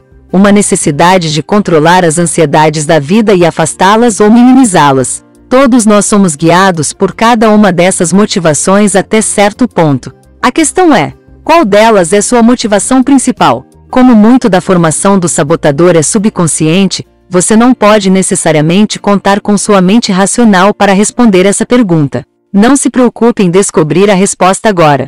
Estilo. Você manifesta um dos três estilos diferentes para satisfazer sua necessidade básica de independência, aceitação ou segurança. 1. Um, afirmar. Esse é o mais ativo e controlador dos três estilos. Você toma atitudes que exigem a realização da sua necessidade principal de independência, aceitação ou segurança. 2. Conquistar. Você se dedica para conquistar a realização da sua necessidade de independência, aceitação ou segurança. Isso se contrasta com a natureza mais exigente do estilo afirmar. 3. Evitar. Você se afasta ou afasta sua atenção das atividades, pensamentos, sentimentos, ou outras pessoas para realizar sua necessidade de independência, aceitação ou segurança. Mais uma vez, Não se preocupe a essa altura em descobrir qual desses três estilos é dominante em você, identificando seu maior sabotador cúmplice. A interseção entre sua motivação principal e seu estilo principal determina seu sabotador cúmplice mais provável.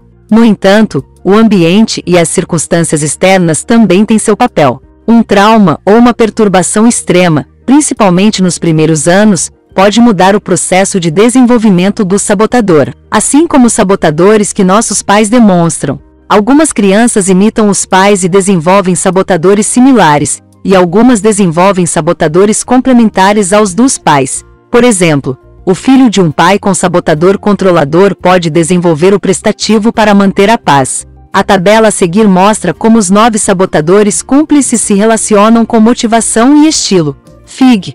3. Os nove sabotadores cúmplices. Estilo: afirmar, motivação, independência, controlador, aceitação, hiperrealizador, segurança, inquieto, estilo, conquistar, motivação, independência, insistente, aceitação, prestativo, segurança, hipervigilante, estilo, evitar, motivação, independência, esquivo, aceitação, vítima, segurança, hiperracional. Nosso objetivo inicial ao explorar nossos sabotadores não é desenvolver uma profunda compreensão psicológica das raízes deles. Nosso foco é mais na manifestação atual dos pensamentos e sentimentos deles em nós em como eles nos sabotam hoje em dia. Confiamos no que podemos observar com consistência em nós mesmos.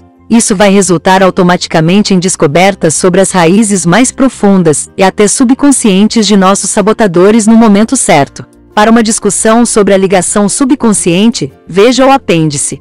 Uma descrição dos pensamentos, sentimentos, características, mentiras para justificar e impacto em nós mesmos e nos outros típicos de cada um dos nove sabotadores vem a seguir. As descrições não são exaustivas. A intenção é oferecer a ideia geral da cada sabotador. Você vai descobrir que sua própria experiência se encaixa em algumas, mas não todas, características de qualquer sabotador. Conforme estiver lendo, concentre-se em obter uma impressão geral das tendências e personalidade de cada sabotador, em vez de se prender a detalhes específicos. Depois de ter uma ideia sobre cada um, determine qual é mais provavelmente o cúmplice principal do seu crítico. Você provavelmente vai exibir em momentos diferentes as características de vários desses nove sabotadores. Não permita que isso o desanime ou confunda. Você só precisa se concentrar no seu crítico e no sabotador cúmplice principal. Esse foco vai ativar significativamente e fortalecer os músculos do seu cérebro QP, exaurindo o fornecimento de oxigênio de todos os sabotadores. Além disso, como seu crítico é seu sabotador principal e tende a despertar os outros, o enfraquecimento dele tem impacto em todos. Quando você reduzir o poder do crítico e do sabotador cúmplice principal na sua cabeça, os outros vão enfraquecer junto automaticamente. Conforme você estiver lendo os perfis a seguir, pode ser útil ter em mente pessoas que você conhece e que parecem ter versões particularmente fortes de certos sabotadores. Isso vai ajudar você a se lembrar melhor dos sabotadores. Você também pode ter alguns palpites preliminares sobre quais sabotadores parecem estar em cena no seu chefe, nos colegas, no cônjuge ou nos filhos. A melhor forma de fazer essa avaliação do sabotador é rapidamente. Sua primeira impressão deve ser mais precisa do que aquela que você vai chegar depois de muita análise. Veja se consegue gastar 10 minutos, sendo um minuto por sabotador, para rever e analisar a força de cada um em você. Depois que fizer uma avaliação preliminar dos nove, volte para seus principais, os compare para determinar qual é seu sabotador cúmplice principal. Algumas pessoas relatam que seu sabotador cúmplice principal é diferente em casa e no trabalho. Se for assim com você, não tem problema fazer essa distinção e identificar um sabotador diferente para cada ambiente. Uma alternativa é você avaliar seus sabotadores online em http www.objetiva.com.br barra testa inteligência positiva. Figura 4. Insistente. Descrição.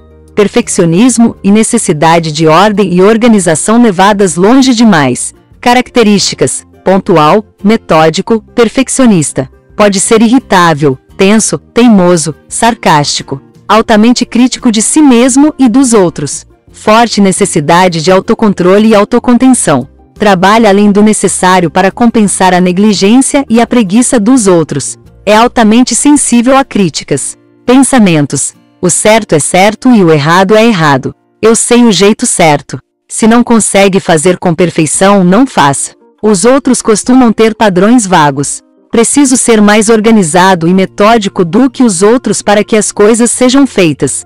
Odeio erros. Sentimentos, frustração constante e decepção consigo mesmo e com os outros por não alcançar os altos padrões. Angustiado por medo de os outros estragarem a ordem e o equilíbrio que ele criou. Tons sarcásticos ou hipócritas. Raiva e frustração contidas. Mentiras para justificar é uma obrigação pessoal. Depende de mim consertar as confusões que eu encontrar. O perfeccionismo é bom e me faz sentir bem comigo mesmo. Costuma haver um jeito certo óbvio e um jeito errado óbvio de fazer as coisas. Sei como as coisas devem ser feitas e preciso fazer a coisa certa. Impacto em si mesmo e nos outros. Causa rigidez e reduz a flexibilidade ao lidar com a mudança e os estilos diferentes dos outros. É fonte de constante ansiedade e frustração causa ressentimento, ansiedade, dúvida de si mesmo e resignação nos outros, que se sentem continuamente criticados e se resignam ao fato de que, independente do quanto trabalhem, jamais vão agradar o insistente. Força 0, 1, 2, 3, 4, 5, 6, 7, 8, 9, 10. Figura 5. Prestativo. Descrição: tentativa indireta de conseguir aceitação e afeição por meio de ajuda, agrado, resgate ou elogio a outros. Perde as próprias necessidades de vista e se torna ressentido como resultado. Características: tem uma forte necessidade de ser amado e tenta conseguir isso ajudando, agradando, resgatando ou elogiando outras pessoas. Precisa se certificar com frequência da aceitação e afeição dos outros não consegue expressar as próprias necessidades aberta e diretamente. Faz isso de maneira indireta, deixando as pessoas se sentirem obrigadas a retribuir. Pensamentos: Para ser uma boa pessoa, devo colocar as necessidades dos outros à frente das minhas. Fico incomodado quando as pessoas não reparam ou não ligam para o que fiz por elas. São muito egoístas e ingratas. Dou muito e não penso bastante em mim. Posso fazer qualquer pessoa gostar de mim, se eu não salvar as pessoas, quem vai salvar? Sentimentos. Expressar as próprias necessidades diretamente parece egoísmo. Tem medo de que insistir nas próprias necessidades vá afastar os outros. Se ressente de não ser valorizado, mas tem dificuldade em expressar isso. Mentiras para justificar não faço isso por mim. Ajudo os outros altruisticamente e não espero nada em troca. O mundo seria um lugar melhor se todo mundo fizesse o mesmo impacto em si mesmo e nos outros, pode colocar em risco as próprias necessidades, sejam emocionais, físicas ou financeiras. Pode levar a ressentimento e desgaste. Outros podem desenvolver dependência, em vez de aprenderem a cuidar de si mesmos e podem se sentir obrigados, culpados ou manipulados. Força 0, 1, 2, 3, 4, 5, 6, 7, 8, 9, 10. Figura 6. Hiperrealizador. Descrição. Dependente de desempenho e realizações constantes para respeito próprio e autovalidação. Altamente concentrado em sucesso externo, o que leva a tendências workaholic insustentáveis e perda de contato com necessidades emocionais e de relacionamento mais profundas. Características: competitivo, atento à imagem e status. Bom em disfarçar inseguranças e mostrar uma imagem positiva adapta a personalidade para se encaixar ao que seria mais impressionante para os outros, orientado para os objetivos e com traços de vício em trabalho, mais dedicado a aperfeiçoar a imagem pública do que a introspecção. Pode se autopromover, mantém as pessoas a uma distância segura. Pensamentos: preciso ser o melhor no que faço. Se não posso ser excelente, nem vou me dar ao trabalho. Devo ser eficiente e eficaz. As emoções atrapalham o desempenho, o foco tem que ser no pensamento e na ação. Posso ser qualquer coisa que queira. Sou valioso enquanto for bem-sucedido e os outros pensarem bem de mim. Sentimentos. Não gosta de insistir em sentimentos por muito tempo. Eles o distraem na realização de objetivos. Às vezes se sente vazio e deprimido, mas não passa muito tempo pensando nisso. Precisa se sentir bem-sucedido. É isso que importa. Se sente valioso por meio de suas realizações. Pode ter medo de intimidade e vulnerabilidade. A intimidade com outros pode permitir que eles vejam imperfeições, mentiras para justificar. O objetivo da vida é alcançar realizações e produzir resultados. Mostrar uma boa imagem me ajuda a alcançar resultados. Sentimentos são apenas uma distração e não ajudam em nada. Impacto em si mesmo e nos outros. A paz e a felicidade são fugazes e efêmeras em breves celebrações de conquistas. A autoaceitação é continuamente dependente do próximo sucesso. Perde contato com sentimentos mais profundos, o eu mais profundo e a capacidade de se conectar intimamente com outros. Os outros podem ser atraídos para o turbilhão de desempenho do hiperrealizador e se tornarem similarmente desequilibrados em seu foco na realização externa. Força 0, 1,2, 3, 4, 5, 6, 7, 8, 9, 10. Figura 7. Vítima. Descrição. Estilo emocional e temperamental para conquistar atenção e afeição. Foco. Extremo em sentimentos internos, principalmente os dolorosos. Tendência para mártir. Características: se criticado ou mal compreendido, tende a se recolher, fazer beicinho e emburrar bastante dramático e temperamental. Quando as coisas ficam difíceis, quer desmoronar e desistir. Sufoca a raiva, o que resulta em depressão, apatia e fadiga constantes. Inconscientemente ligado a ter dificuldades. Recebe atenção tendo problemas emocionais ou sendo temperamental e mal, humorado. Pensamentos: ninguém me entende. Pobre de mim. Coisas terríveis sempre me acontecem. Eu talvez tenha desvantagens ou defeitos únicos. Sou o que sinto. Queria que alguém me salvasse dessa terrível confusão. Sentimentos. Tende a remoer sentimentos negativos por muito tempo. Se sente sozinho e solitário, mesmo quando perto da família e de amigos íntimos. Tem sentimentos de melancolia e abandono. Enfatiza inveja e comparações negativas. Mentiras para justificar. Ao agir assim, eu pelo menos tenho um pouco do amor e atenção que mereço. A tristeza é uma coisa nobre e sofisticada que mostra profundidade excepcional, além de discernimento e sensibilidade. Impacto em si mesmo e nos outros. A vitalidade é desperdiçada no foco em processos internos e ressentimentos. Alcança o efeito oposto ao afastar as pessoas. Os outros se sentem frustrados, impotentes ou culpados por não poderem colocar mais do que um band-aid temporário no ferimento da vítima. Força 0, 1, 2, 3, 4, 5, 6, 7, 8, 9, 10. Figura 8. Hiperracional. Descrição: foco intenso e exclusivo no processamento racional de tudo, incluindo relacionamentos. Pode ser percebido como frio, distante e intelectualmente arrogante. Características: possui uma mente intensa e ativa. Às vezes passa por intelectualmente arrogante ou dissimulado é reservado e não deixa muitas pessoas conhecerem seus sentimentos mais profundos.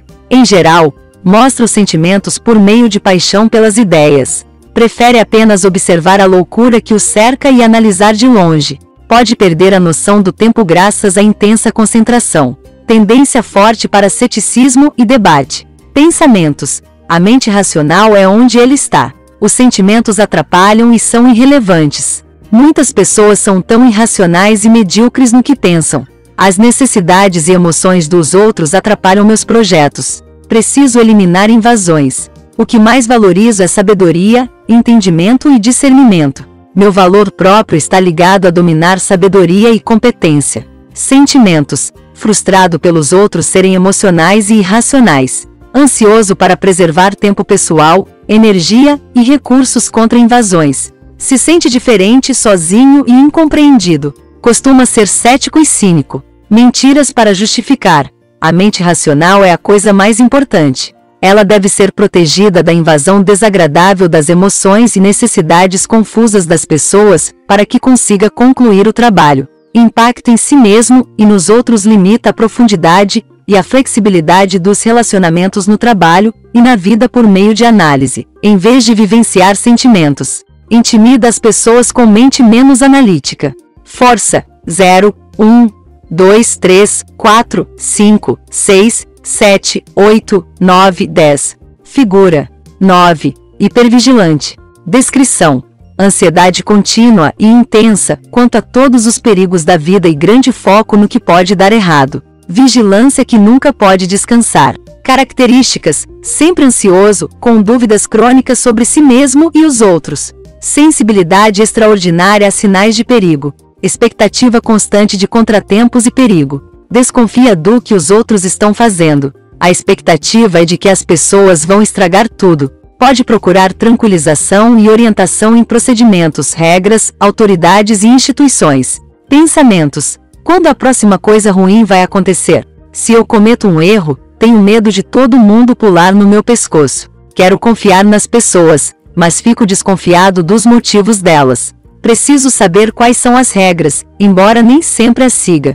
Sentimentos: cético, até mesmo cínico. Costuma ser ansioso e altamente vigilante. Mentiras para justificar. A vida é cheia de perigos. Se eu não ficar alerta, quem vai ficar? Impacto em si mesmo e nos outros. É uma maneira difícil de viver. A ansiedade constante queima uma grande quantidade de energia vital que poderia ser usada de maneiras excelentes.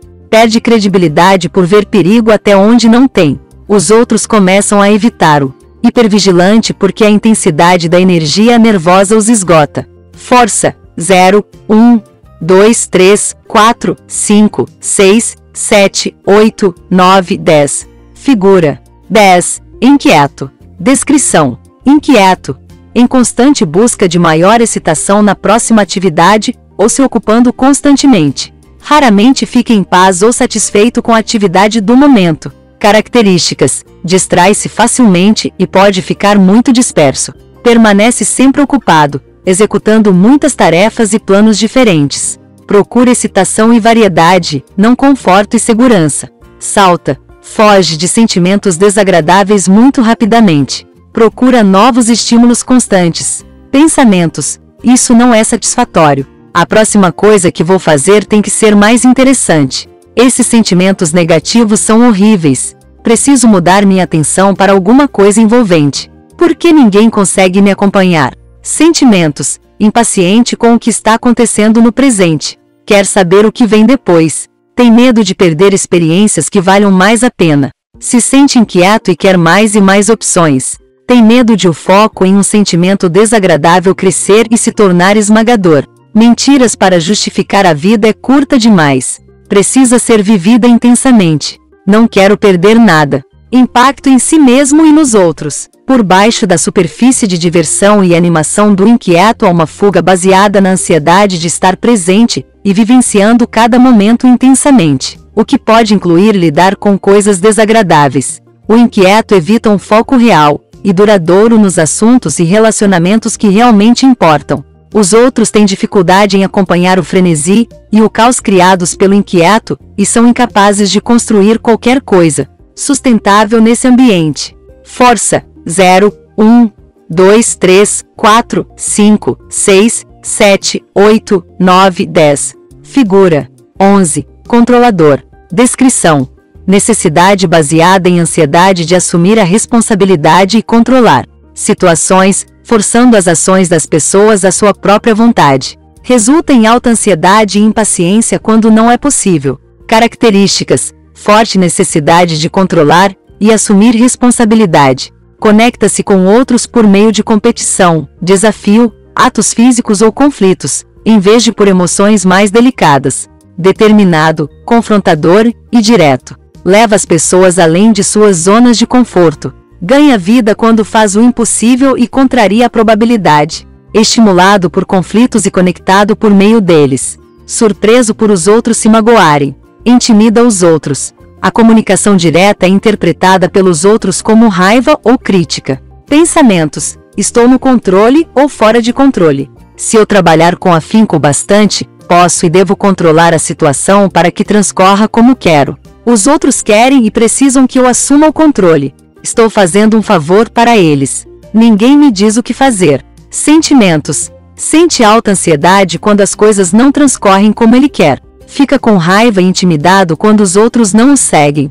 Impaciente com os sentimentos e estilos diferentes dos outros. Sente-se magoado e rejeitado, embora raramente admita. Mentiras para justificar. Sem mim, você não consegue fazer muita coisa. Você precisa forçar as pessoas. Se eu não controlar, serei controlado, e não consigo suportar isso. Estou tentando terminar o serviço por todos nós. Impacto em si mesmo e nos outros. O controlador consegue resultados temporários, mas com o custo de os outros se sentirem controlados, ressentidos e incapazes de alcançar suas maiores capacidades. O controlador também gera uma grande quantidade de ansiedade, pois muitas coisas no trabalho e na vida não são controláveis. Força 0, 1, 2, 3, 4, 5, 6, 7, 8, 9, 10. Figura 12. Esquivo. Descrição: foco no positivo e no agradável de uma forma extrema. Fuga de tarefas e conflitos difíceis e desagradáveis. Características: evita conflitos e diz sim para coisas que não deseja realmente. Minimiza a importância de alguns problemas reais e tenta rechaçar outros. Tem dificuldade em dizer não. Resiste aos outros por meios passivo-agressivos, em vez de diretamente. Perde-se em rotinas e hábitos reconfortantes procrastina as tarefas desagradáveis. Pensamentos: Isso é desagradável demais. Talvez, se eu deixar de lado, o problema se resolva sozinho. Se eu cuidar disso agora, vou magoar alguém. Prefiro não fazer isso. Se eu entrar em conflito com outros, posso perder minha ligação com eles. Encontrei um equilíbrio. Não quero mexer nele. Prefiro fazer as coisas do jeito que alguém quer criar uma confusão. Sentimentos. Tenta permanecer equilibrado. Sente ansiedade pelo que foi evitado ou procrastinado. Tem medo de que a paz conquistada com dificuldade seja interrompida. Reprime raiva e ressentimento. Mentiras para justificar. Você é uma boa pessoa por poupar o sentimento dos outros. Nada de bom pode resultar de um conflito. É bom ser flexível. Alguém precisa ser o pacificador. Impacto em si mesmo e nos outros. Negar os conflitos e as negatividades que existem impede que o esquivo trabalhe com eles e os transforme em dádivas. Sentir-se entorpecido para a dor é diferente de saber como colher sabedoria e poder da dor. O que é evitado não desaparece e acaba infeccionando. Os relacionamentos são mantidos em um nível superficial por meio da fuga de conflitos. O nível de confiança dos outros é reduzido, porque eles não sabem ao certo quando a informação negativa está sendo omitida. Força 0, 1, 2, 3, 4, 5, 6, 7, 8, 9, 10. Expondo a mentira. O comentário cético mais comum que escuto de executivos de sucesso é: conquistei boa parte do meu sucesso ouvindo meu crítico ou sendo controlador, insistente, etc. É o necessário para gerar resultados. Por que eu abriria mão disso? Um sabotador faz seu maior dano se o convence de que é seu amigo e você o aceita em seu círculo de confiança. Cada sabotador tem justificativas bastante razoáveis para suas ações. Ele diz o quanto é seu amigo e por que é bom para você. Mas essas justificativas não são nada além de mentiras bem mascaradas. Por exemplo, o crítico, o controlador, o hiperrealizador e o insistente convenceriam você de que, sem eles, você se transformaria em um preguiçoso sem ambições ou complacente. Não é mentira que eles realmente empurraram você e outras pessoas em direção ao sucesso e à realização. A mentira é que seu maior sucesso viria por meio deles. Vamos expor essa mentira. Digamos que você acabou de cometer um erro grave em alguma coisa importante. Seu crítico cai em cima de você e faz você se sentir culpado, com raiva ou remorso. As mensagens perturbadoras dele ficam rondando e não deixam você dormir à noite, preocupado com o que aconteceu e com as consequências. Ele assusta você e faz trabalhar exaustivamente para se certificar de que o erro não aconteça de novo. Na próxima vez, você vai ficar realmente ansioso para não fazer besteira. Pode se sair melhor, mas terá pagado um alto preço emocional no caminho. Além do mais, seu sofrimento intenso torna mais provável que você cometa outros erros, enquanto se concentra com ansiedade em não repetir o primeiro. O sábio oferece uma abordagem bem diferente. Primeiro, ele se solidariza com você e o assegura de que, embora tenha cometido um erro, você ainda é uma pessoa maravilhosa. Ele diz que você tem que ter compaixão por si mesmo, todos somos seres humanos passíveis de falhas. Diz para você que tudo, mesmo seus erros, podem ser transformados em dádivas e oportunidades pelo modo como você reage a eles.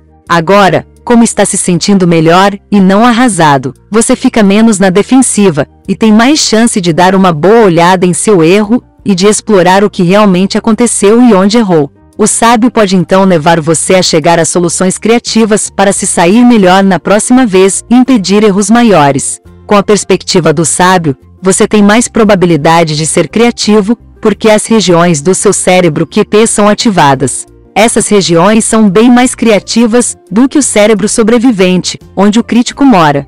No final desse processo de empatia consigo mesmo, de explorar o que aconteceu e de chegar a soluções criativas, você vai ter mais energia para ações decisivas e se sair melhor na próxima vez. Você não vai ter desperdiçado um grama de vitalidade e energia se culpando e sofrendo por meio de drama negativo. Tanto seus sabotadores quanto seu sábio podem levar você ao sucesso, mas eles fazem isso por caminhos bastante diferentes. Os sabotadores empurram você à ação e ao sucesso por meio de raiva, arrependimento, medo, culpa, ansiedade, vergonha, obrigação, etc. Mas o sábio puxa você para agir por meio de compaixão, curiosidade, criatividade, alegria de se expressar, desejo de contribuir e criar significado e empolgação da ação. Você prefere ser empurrado ou puxado? Só o sábio permite que você chegue ao sucesso sem sacrificar a felicidade e a paz de espírito. Nunca é demais enfatizar a importância desse ponto. Você não pode confrontar um inimigo que não tem certeza de que é seu inimigo. Se uma voz em sua cabeça ainda diz que você precisa do seu crítico, do seu controlador, do seu insistente, do seu hiperrealizador ou de qualquer outro sabotador para ser bem-sucedido ou ser feliz na vida, você ainda está acreditando nas mentiras deles. O sábio tem muito mais discernimento, percepção, agilidade, vigilância, criatividade, decisão, e é mais voltado para a ação do que qualquer sabotador. Conforme você continuar a ler este livro, faça o seguinte teste. Pegue qualquer desafio do trabalho ou da vida e veja se pode ser alcançado mais efetivamente com os grandes poderes do seu sábio. Não caia nas mentiras sedutoras dos sabotadores, eles não são seus amigos e você não precisa deles. O sábio sempre oferece um caminho melhor, enfraquecendo seus sabotadores.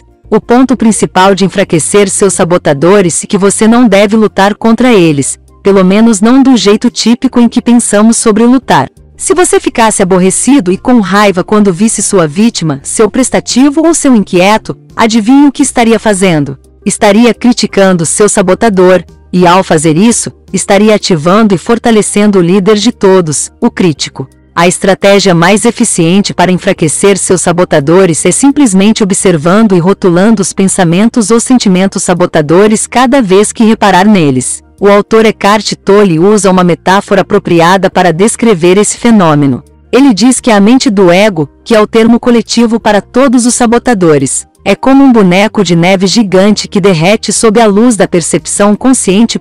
18 Ao pesado do trabalho de enfraquecer seu sabotador desenvolve espolosa, luz quente da percepção pela simples observação e rotulação deles quando aparecem. Para observar melhor e rotular seus sabotadores, pode ser útil criar descrições mais personalizadas para eles. Por exemplo, o nome que dou para meu crítico é executor, e o que dou para meu hiperracional é robô. Outros chamam o crítico de Darth Vader, o insistente de Zé Ruela, o controlador de sargento de treinamento, o hiperrealizador de workaholic e a vítima de mártir. Vamos dizer que você determine que seu sabotador cúmplice principal é o controlador e dê a ele o nome de sargento de treinamento. Se você estiver no meio de uma reunião e receber a visita do velho amigo controlador, você observa e rótula os pensamentos do sabotador ao dizer: o sargento de treinamento está insistindo que só vai dar certo do jeito dele. Você faz isso no fundo da mente. Quase não gasta tempo nem esforço. É rápido, como carimbar um passaporte. Você pode se perguntar como esse simples ato de observar e rotular pode ter um impacto grande. Mas tem, e o motivo é o seguinte: por sua própria natureza, os sabotadores causam danos bem maiores quando trabalham escondidos sob o radar, fingindo serem seus amigos ou serem você. Ao observá-los e rotulá-los, você os desmascara e desacredita a voz deles. Repare a diferença entre dizer, acho que não sou capaz, e o crítico acha que não sou capaz. O boneco de neve vai derreter sob a luz da sua percepção. No capítulo 7, você vai aprender a técnica adicional de usar cada aparição dos seus sabotadores como lembrete para ativar o cérebro QP por 10 segundos. Isso vai acelerar a morte dos seus sabotadores ao silenciar a parte do cérebro que os origina. Para refletir, cada sabotador teve um propósito inicial: de proteger você fisicamente ou ajudar a sobreviver emocionalmente. Como seu crítico e seu sabotador cúmplice principal ajudaram na sua juventude. Capítulo 4 Crítico, o sabotador principal. Em todos os meus anos de coaching, nunca trabalhei com ninguém que não fosse substancialmente sabotado por um crítico persistente, embora muitos não percebessem o fato inicialmente. Seu sabotador crítico é seu inimigo particular número um. Ele causa impacto em seu bem-estar, sucesso e felicidade bem mais do que qualquer inimigo público conseguiria. O crítico consegue sua incrível sabotagem destrutiva nos fazendo sentir negativos e infelizes, por meio de constante indicação de defeitos, 1.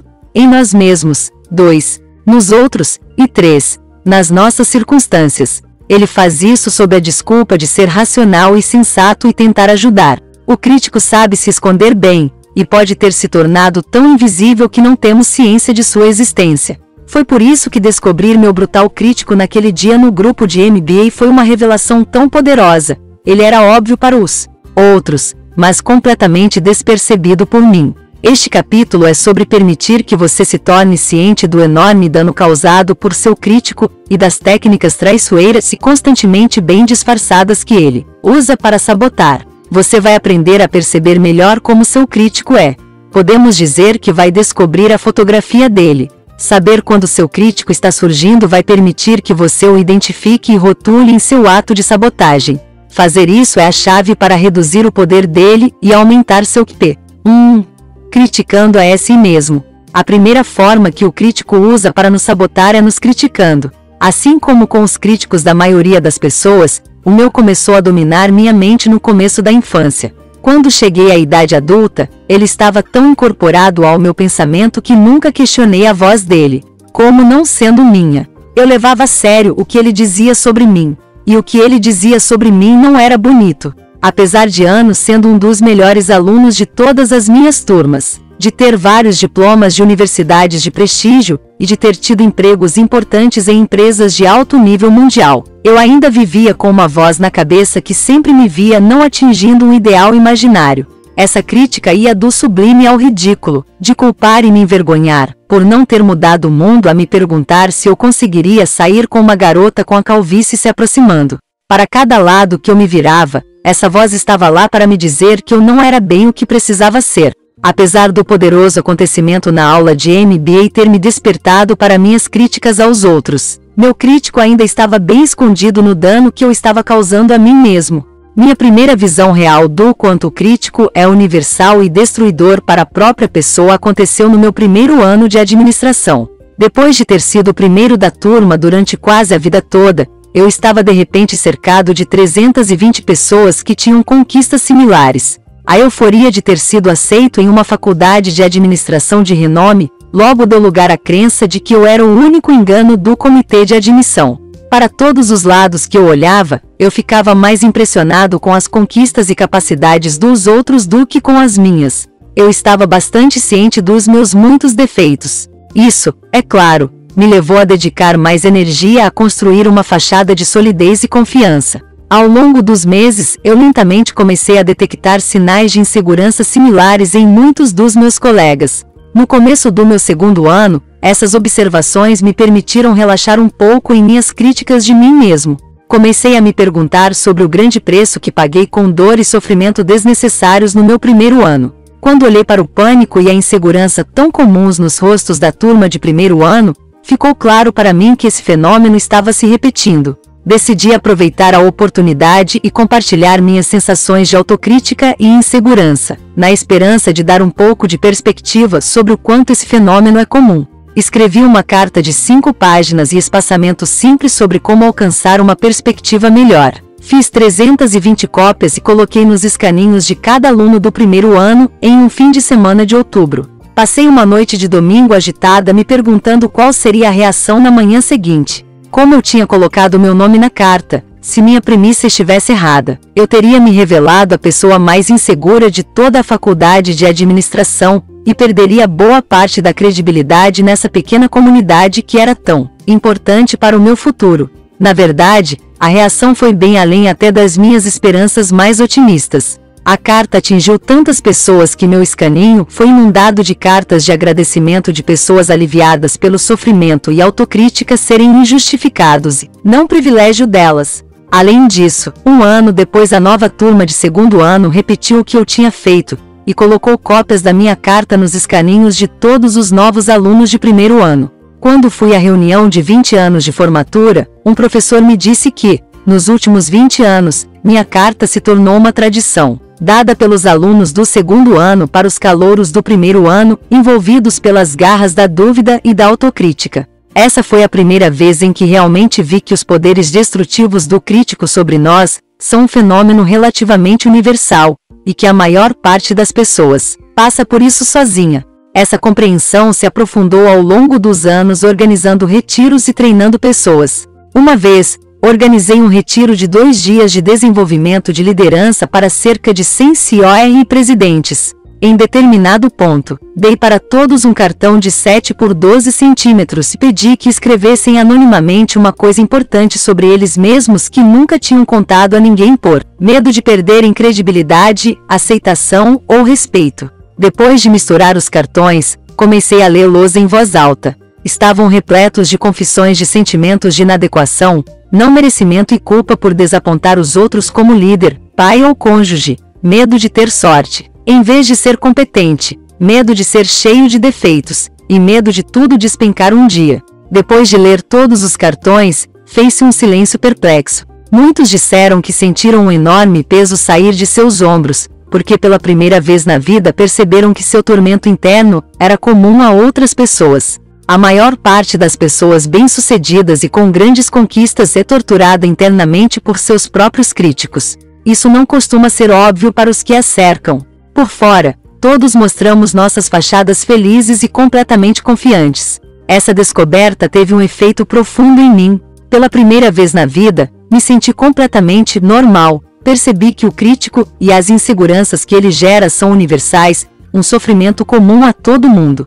Quando interajo com as pessoas agora, não me pergunto mais se elas têm um crítico desagradável, mas sim como ele está se escondendo e prejudicando aquele indivíduo. Nossas maneiras de lidar com nossas inseguranças induzidas pelo crítico são diferentes, como descobri em meus trabalhos de coaching. Isso acontece porque os críticos de pessoas diferentes acionam diferentes sabotadores cúmplices. Leury, o presidente de uma fábrica no meio oeste, se enterrou em trabalho para que pudesse escapar de ouvir e ser atormentado por essas vozes. Ele fugiu, apavorado pela ideia de não estar ocupado. Mary, a chefe de uma organização de serviços de marketing, virou as inseguranças do avesso e mostrava arrogância, uma aura de superioridade e uma invulnerabilidade fingida, que nada mais são do que um meio de esconder a insegurança. Peter, o chefe de uma companhia de telecomunicações altamente bem-sucedida, tinha o hábito de se alongar nas autocríticas e se torturar intimamente enquanto mostrava um aspecto confiante em público.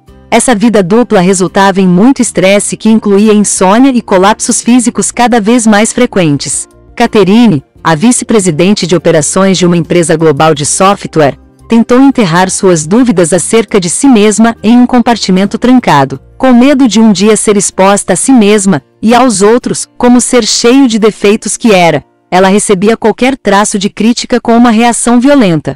Nossos métodos de lidar com o crítico são diferentes e podem não ser tão bem definidos quanto esses exemplos. Mas o crítico ainda está lá, causando seu dano arrasador. Por que amo você? A mentira mais perigosa do crítico é que não somos dignos de amor e respeito apenas sendo quem somos. Ele nos força a constantemente atuarmos para alcançar esses sentimentos.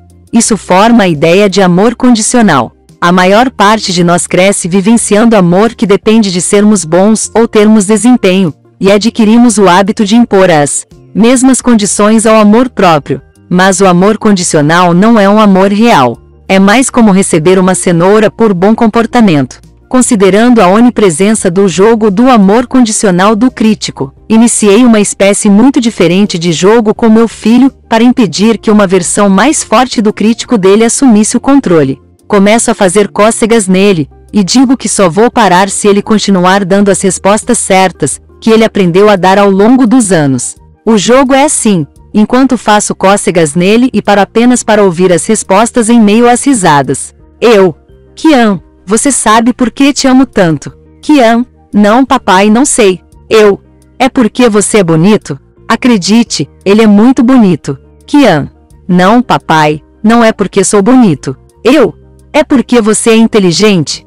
Kian, não papai, não é porque sou inteligente. Eu, é porque você faz seus deveres tão bem e tira boas notas? Kian, não papai não é. Continuo seguindo a lista que inclui a gentileza e a generosidade dele, o talento nos esportes, a sensibilidade e a consideração, e assim vai. Em determinado momento finjo grande frustração. Eu? Então por que, Kian? Por que te amo tanto? Agora, Kian já aprendeu a dizer, e ele diz com firmeza e segurança papai, é porque eu sou eu. De vez em quando, peço a Kian para me lembrar o que essa resposta significa. Ele diz que significa que meu amor por ele não depende de nada que ele faça. É pela essência dele, pelo ser que olhou para mim quando peguei no colo no dia em que nasceu. Ele sabe que, em sua essência, é digno de amor, sempre. Ele nunca precisa ter medo de perder isso, independentemente dos sucessos e fracassos e dos altos e baixos da vida. Profecias autorrealizáveis. O crítico, obviamente, tem um aneurisma ao ouvir isso. Ele vai dar avisos horríveis como: essa é a receita para seu filho ficar preguiçoso ou irresponsável, se as ações não tiverem consequências no que você sente por ele. Por que ele deveria tentar obter alguma realização? Isso parece familiar? Seu amor por você mesmo é incondicional? No final de um dia ruim, no qual você cometeu erros terríveis com consequências negativas, quanto amor próprio você sente? Seu crítico avisa que você viraria um ser preguiçoso, sem ambição, irresponsável, complacente ou egoísta sem ele constantemente chutando seu traseiro? Esse é um argumento-chave que ele usa para permanecer no poder. Essa visão é fundamentalmente cínica e afirma que você e os seres humanos em geral só fazem a coisa certa sob pressão ou por medo de culpa, vergonha e consequências negativas. Essa visão cínica ignora os enormes e inexplorados poderes do sábio dentro de você e a natureza fundamental da sua essência. Esse é outro caso da diferença de empurrar e puxar entre sábio e sabotadores. Enquanto o crítico pode empurrar você para agir por meio de ameaças, medo, vergonha ou culpa, o sábio puxa você para agir por meio de expectativa da alegria da exploração e da descoberta, por meio da compulsão humana irresistível e profundamente arraigada de encontrar significado na vida e de ter importância, por meio da alegria da criatividade e da possibilidade, pelo desejo do coração humano de se conectar, cuidar e ser cuidado, por meio da apreciação do mistério da vida, e por meio de um desejo de ação lúcida em busca dos resultados desejados. Tanto a visão do crítico quanto do sábio são profecias autorrealizáveis. Cada um de nós é um saco misturado, tanto divino quanto desprezível. Estar no modo sábio ou sabotador determina qual versão de você se manifesta. Que versão você escolheria para si? para as pessoas da sua empresa e sua equipe, para seu cônjuge e seus filhos, a não ser que você desenvolva domínio sobre seu crítico, o líder dos seus sabotadores, é ele quem escolhe por você. 2. Criticando os outros. A segunda forma pela qual o crítico nos sabota é criticando os outros. Ele tem papel central em conflitos de equipe, profissionais e pessoais.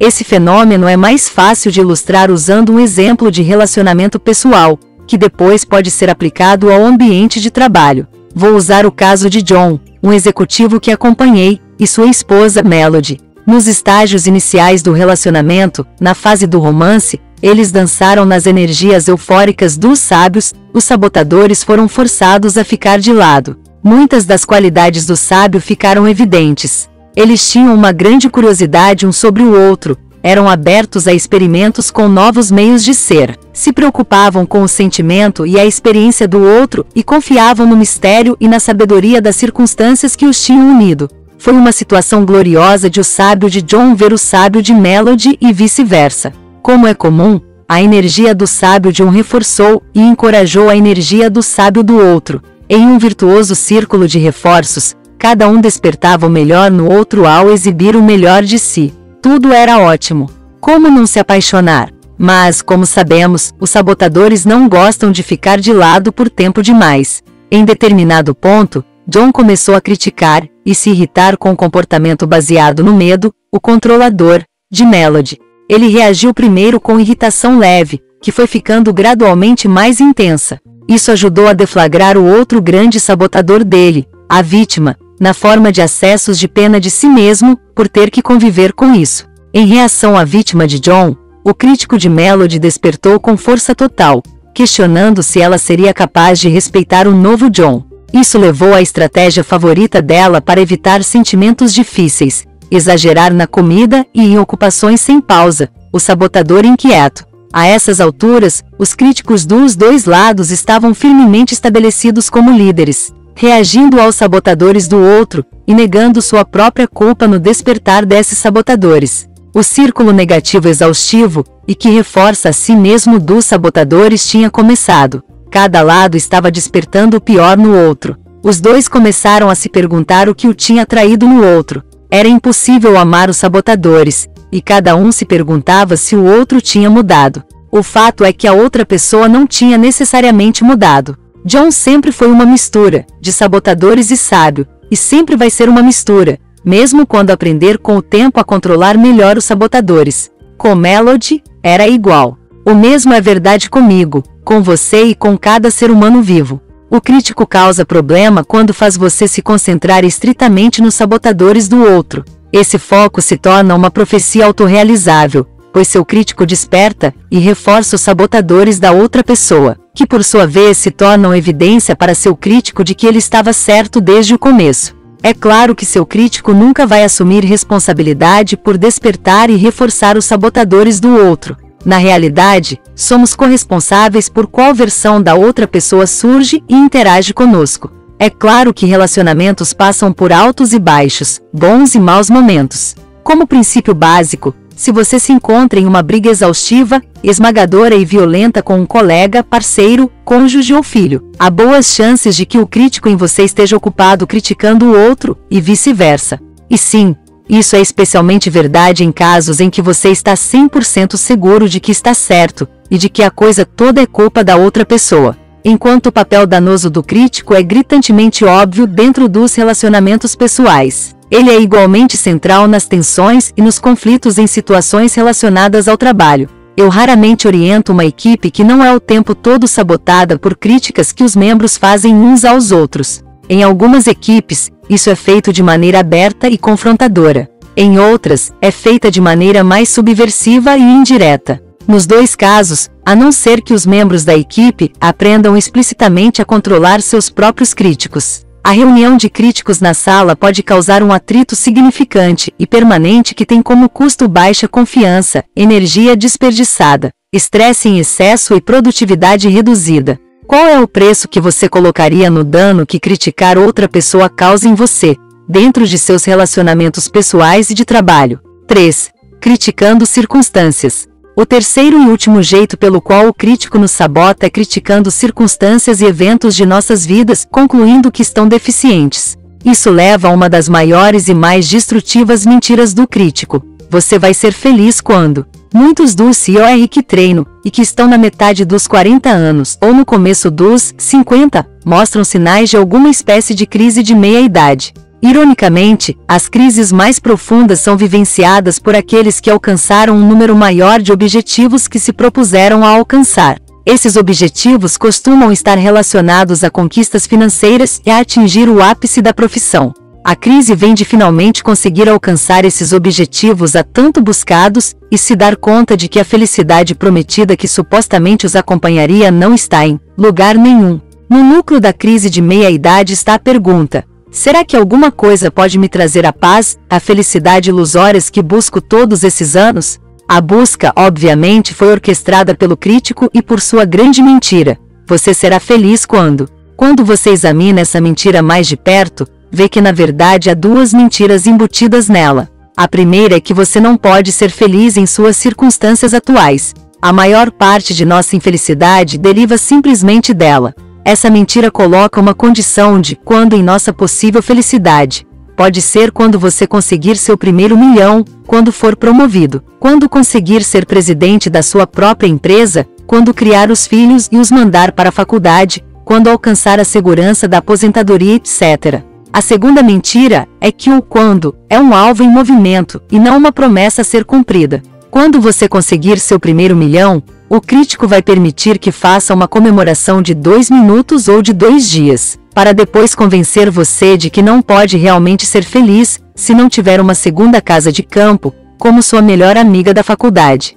Afinal, você é tão inteligente quanto ela, e é justo que também tenha uma, certo? O quando é renegociado assim que está prestes a ser alcançado. Milhões de pessoas morrem todos os anos ainda esperando alcançar o último quando. Esse alvo em constante movimento é uma miragem e uma técnica-chave que o crítico usa para garantir sua infelicidade eterna. O fascinante é que cada quando é escolhido baseado não apenas em critérios objetivos, mas em comparações relativas que são completamente arbitrárias. Fui testemunha em primeira mão do absurdo desse fenômeno quando morava em São Francisco no final dos anos 1990, no epicentro do estouro da internet. Vi pessoas com boa formação e muito bem-sucedidas perderem completamente a perspectiva e permitirem que seus críticos renegociassem seus alvos de quando, em níveis absurdos. Peter, um empreendedor que muito tempo antes tinha declarado que 10 milhões de dólares eram o alvo de sua aposentadoria feliz rejeitou uma oferta de 125 milhões de dólares por sua empresa. O motivo? O amigo da faculdade vendeu a dele por 330 milhões e agora estava viajando de jato particular. Depois de fazer alguns cálculos, Peter decidiu que o estilo de vida que agora imaginava, que incluía um jato particular e casas de férias em vários continentes, exigia um alvo maior do que 125 milhões, e ele não conseguiria ser feliz com essa oferta. No desenrolar dessa história, no prazo de um ano, ele testemunhou o colapso completo da avaliação da empresa e a consequente falência. O quando dele foi então renegociado pelo crítico. Ele agora poderia ser feliz quando acabasse com as dívidas, chegasse a 10 milhões de patrimônio líquido e recuperasse parte do respeito em sua área. Encontrei Peter recentemente em uma conferência e descobri que ainda estava caçando o quando renegociado de 10 milhões. Tantos anos depois, os suspiros e os arrependimentos do crítico ainda transpareceram nas palavras dele enquanto falava de sua vida. Ele ignorava completamente o fato de que, mesmo agora, ganhava uma quantidade de dinheiro e tinha um estilo de vida que o colocava entre o 1% de pessoas no topo do mundo. O crítico de Peter ainda estava no comando, atrás do novo, quando encontrei muitos exemplos assim. Jackson, um homem de 45 anos que antes estava satisfeito com um alvo de aposentadoria aos 60 anos, mas que se sentia fracassado porque ainda tinha que trabalhar enquanto seu vizinho, que fora extremamente bem-sucedido durante a explosão da internet, se aposentou com 42 anos. Alison, uma vice-presidente de marketing que antes estava feliz com o crescimento constante na escada corporativa em uma empresa que a tratava bem, mas que de repente se sentiu um fracasso por não ter pulado do barco, como uma das sócias minoritárias que acabou ficando rica com um novo negócio. Tim, o CEO de uma das empresas não virtuais de capital aberto de melhor reputação. De um dia para outro mudou de se sentir no topo do mundo para se sentir um dinossauro incompetente. São impressionantes os truques do crítico para renegociar o quando, como vamos discutir no capítulo 5, o quando para a paz e a felicidade é na verdade agora, independente das circunstâncias do seu trabalho e da vida pessoal. Qualquer outro, quando é mentira do crítico. O sábio ajuda você a sentir paz e alegria independente do que está acontecendo em qualquer área da sua vida, enquanto os sabotadores fazem você se sentir incompleto, sejam quais forem as circunstâncias. O sábio está certo. Não se trata das circunstâncias. Não se trata do quando. A questão é quem está sussurrando ou gritando no seu ouvido enquanto interpreta as circunstâncias para você. Pense em cada quando que você declarou para si mesmo no passado e que realmente atingiu. Quanto tempo sua felicidade durou antes que você, seu crítico, renegociasse uma nova? Que quanto você está buscando agora como condição para sua felicidade e paz? Você estaria disposto a reconsiderar e desistir desse, quando acreditando que pode ter grande paz e felicidade no trabalho e na vida agora mesmo? A diferença entre criticar e discernir. Costumo ouvir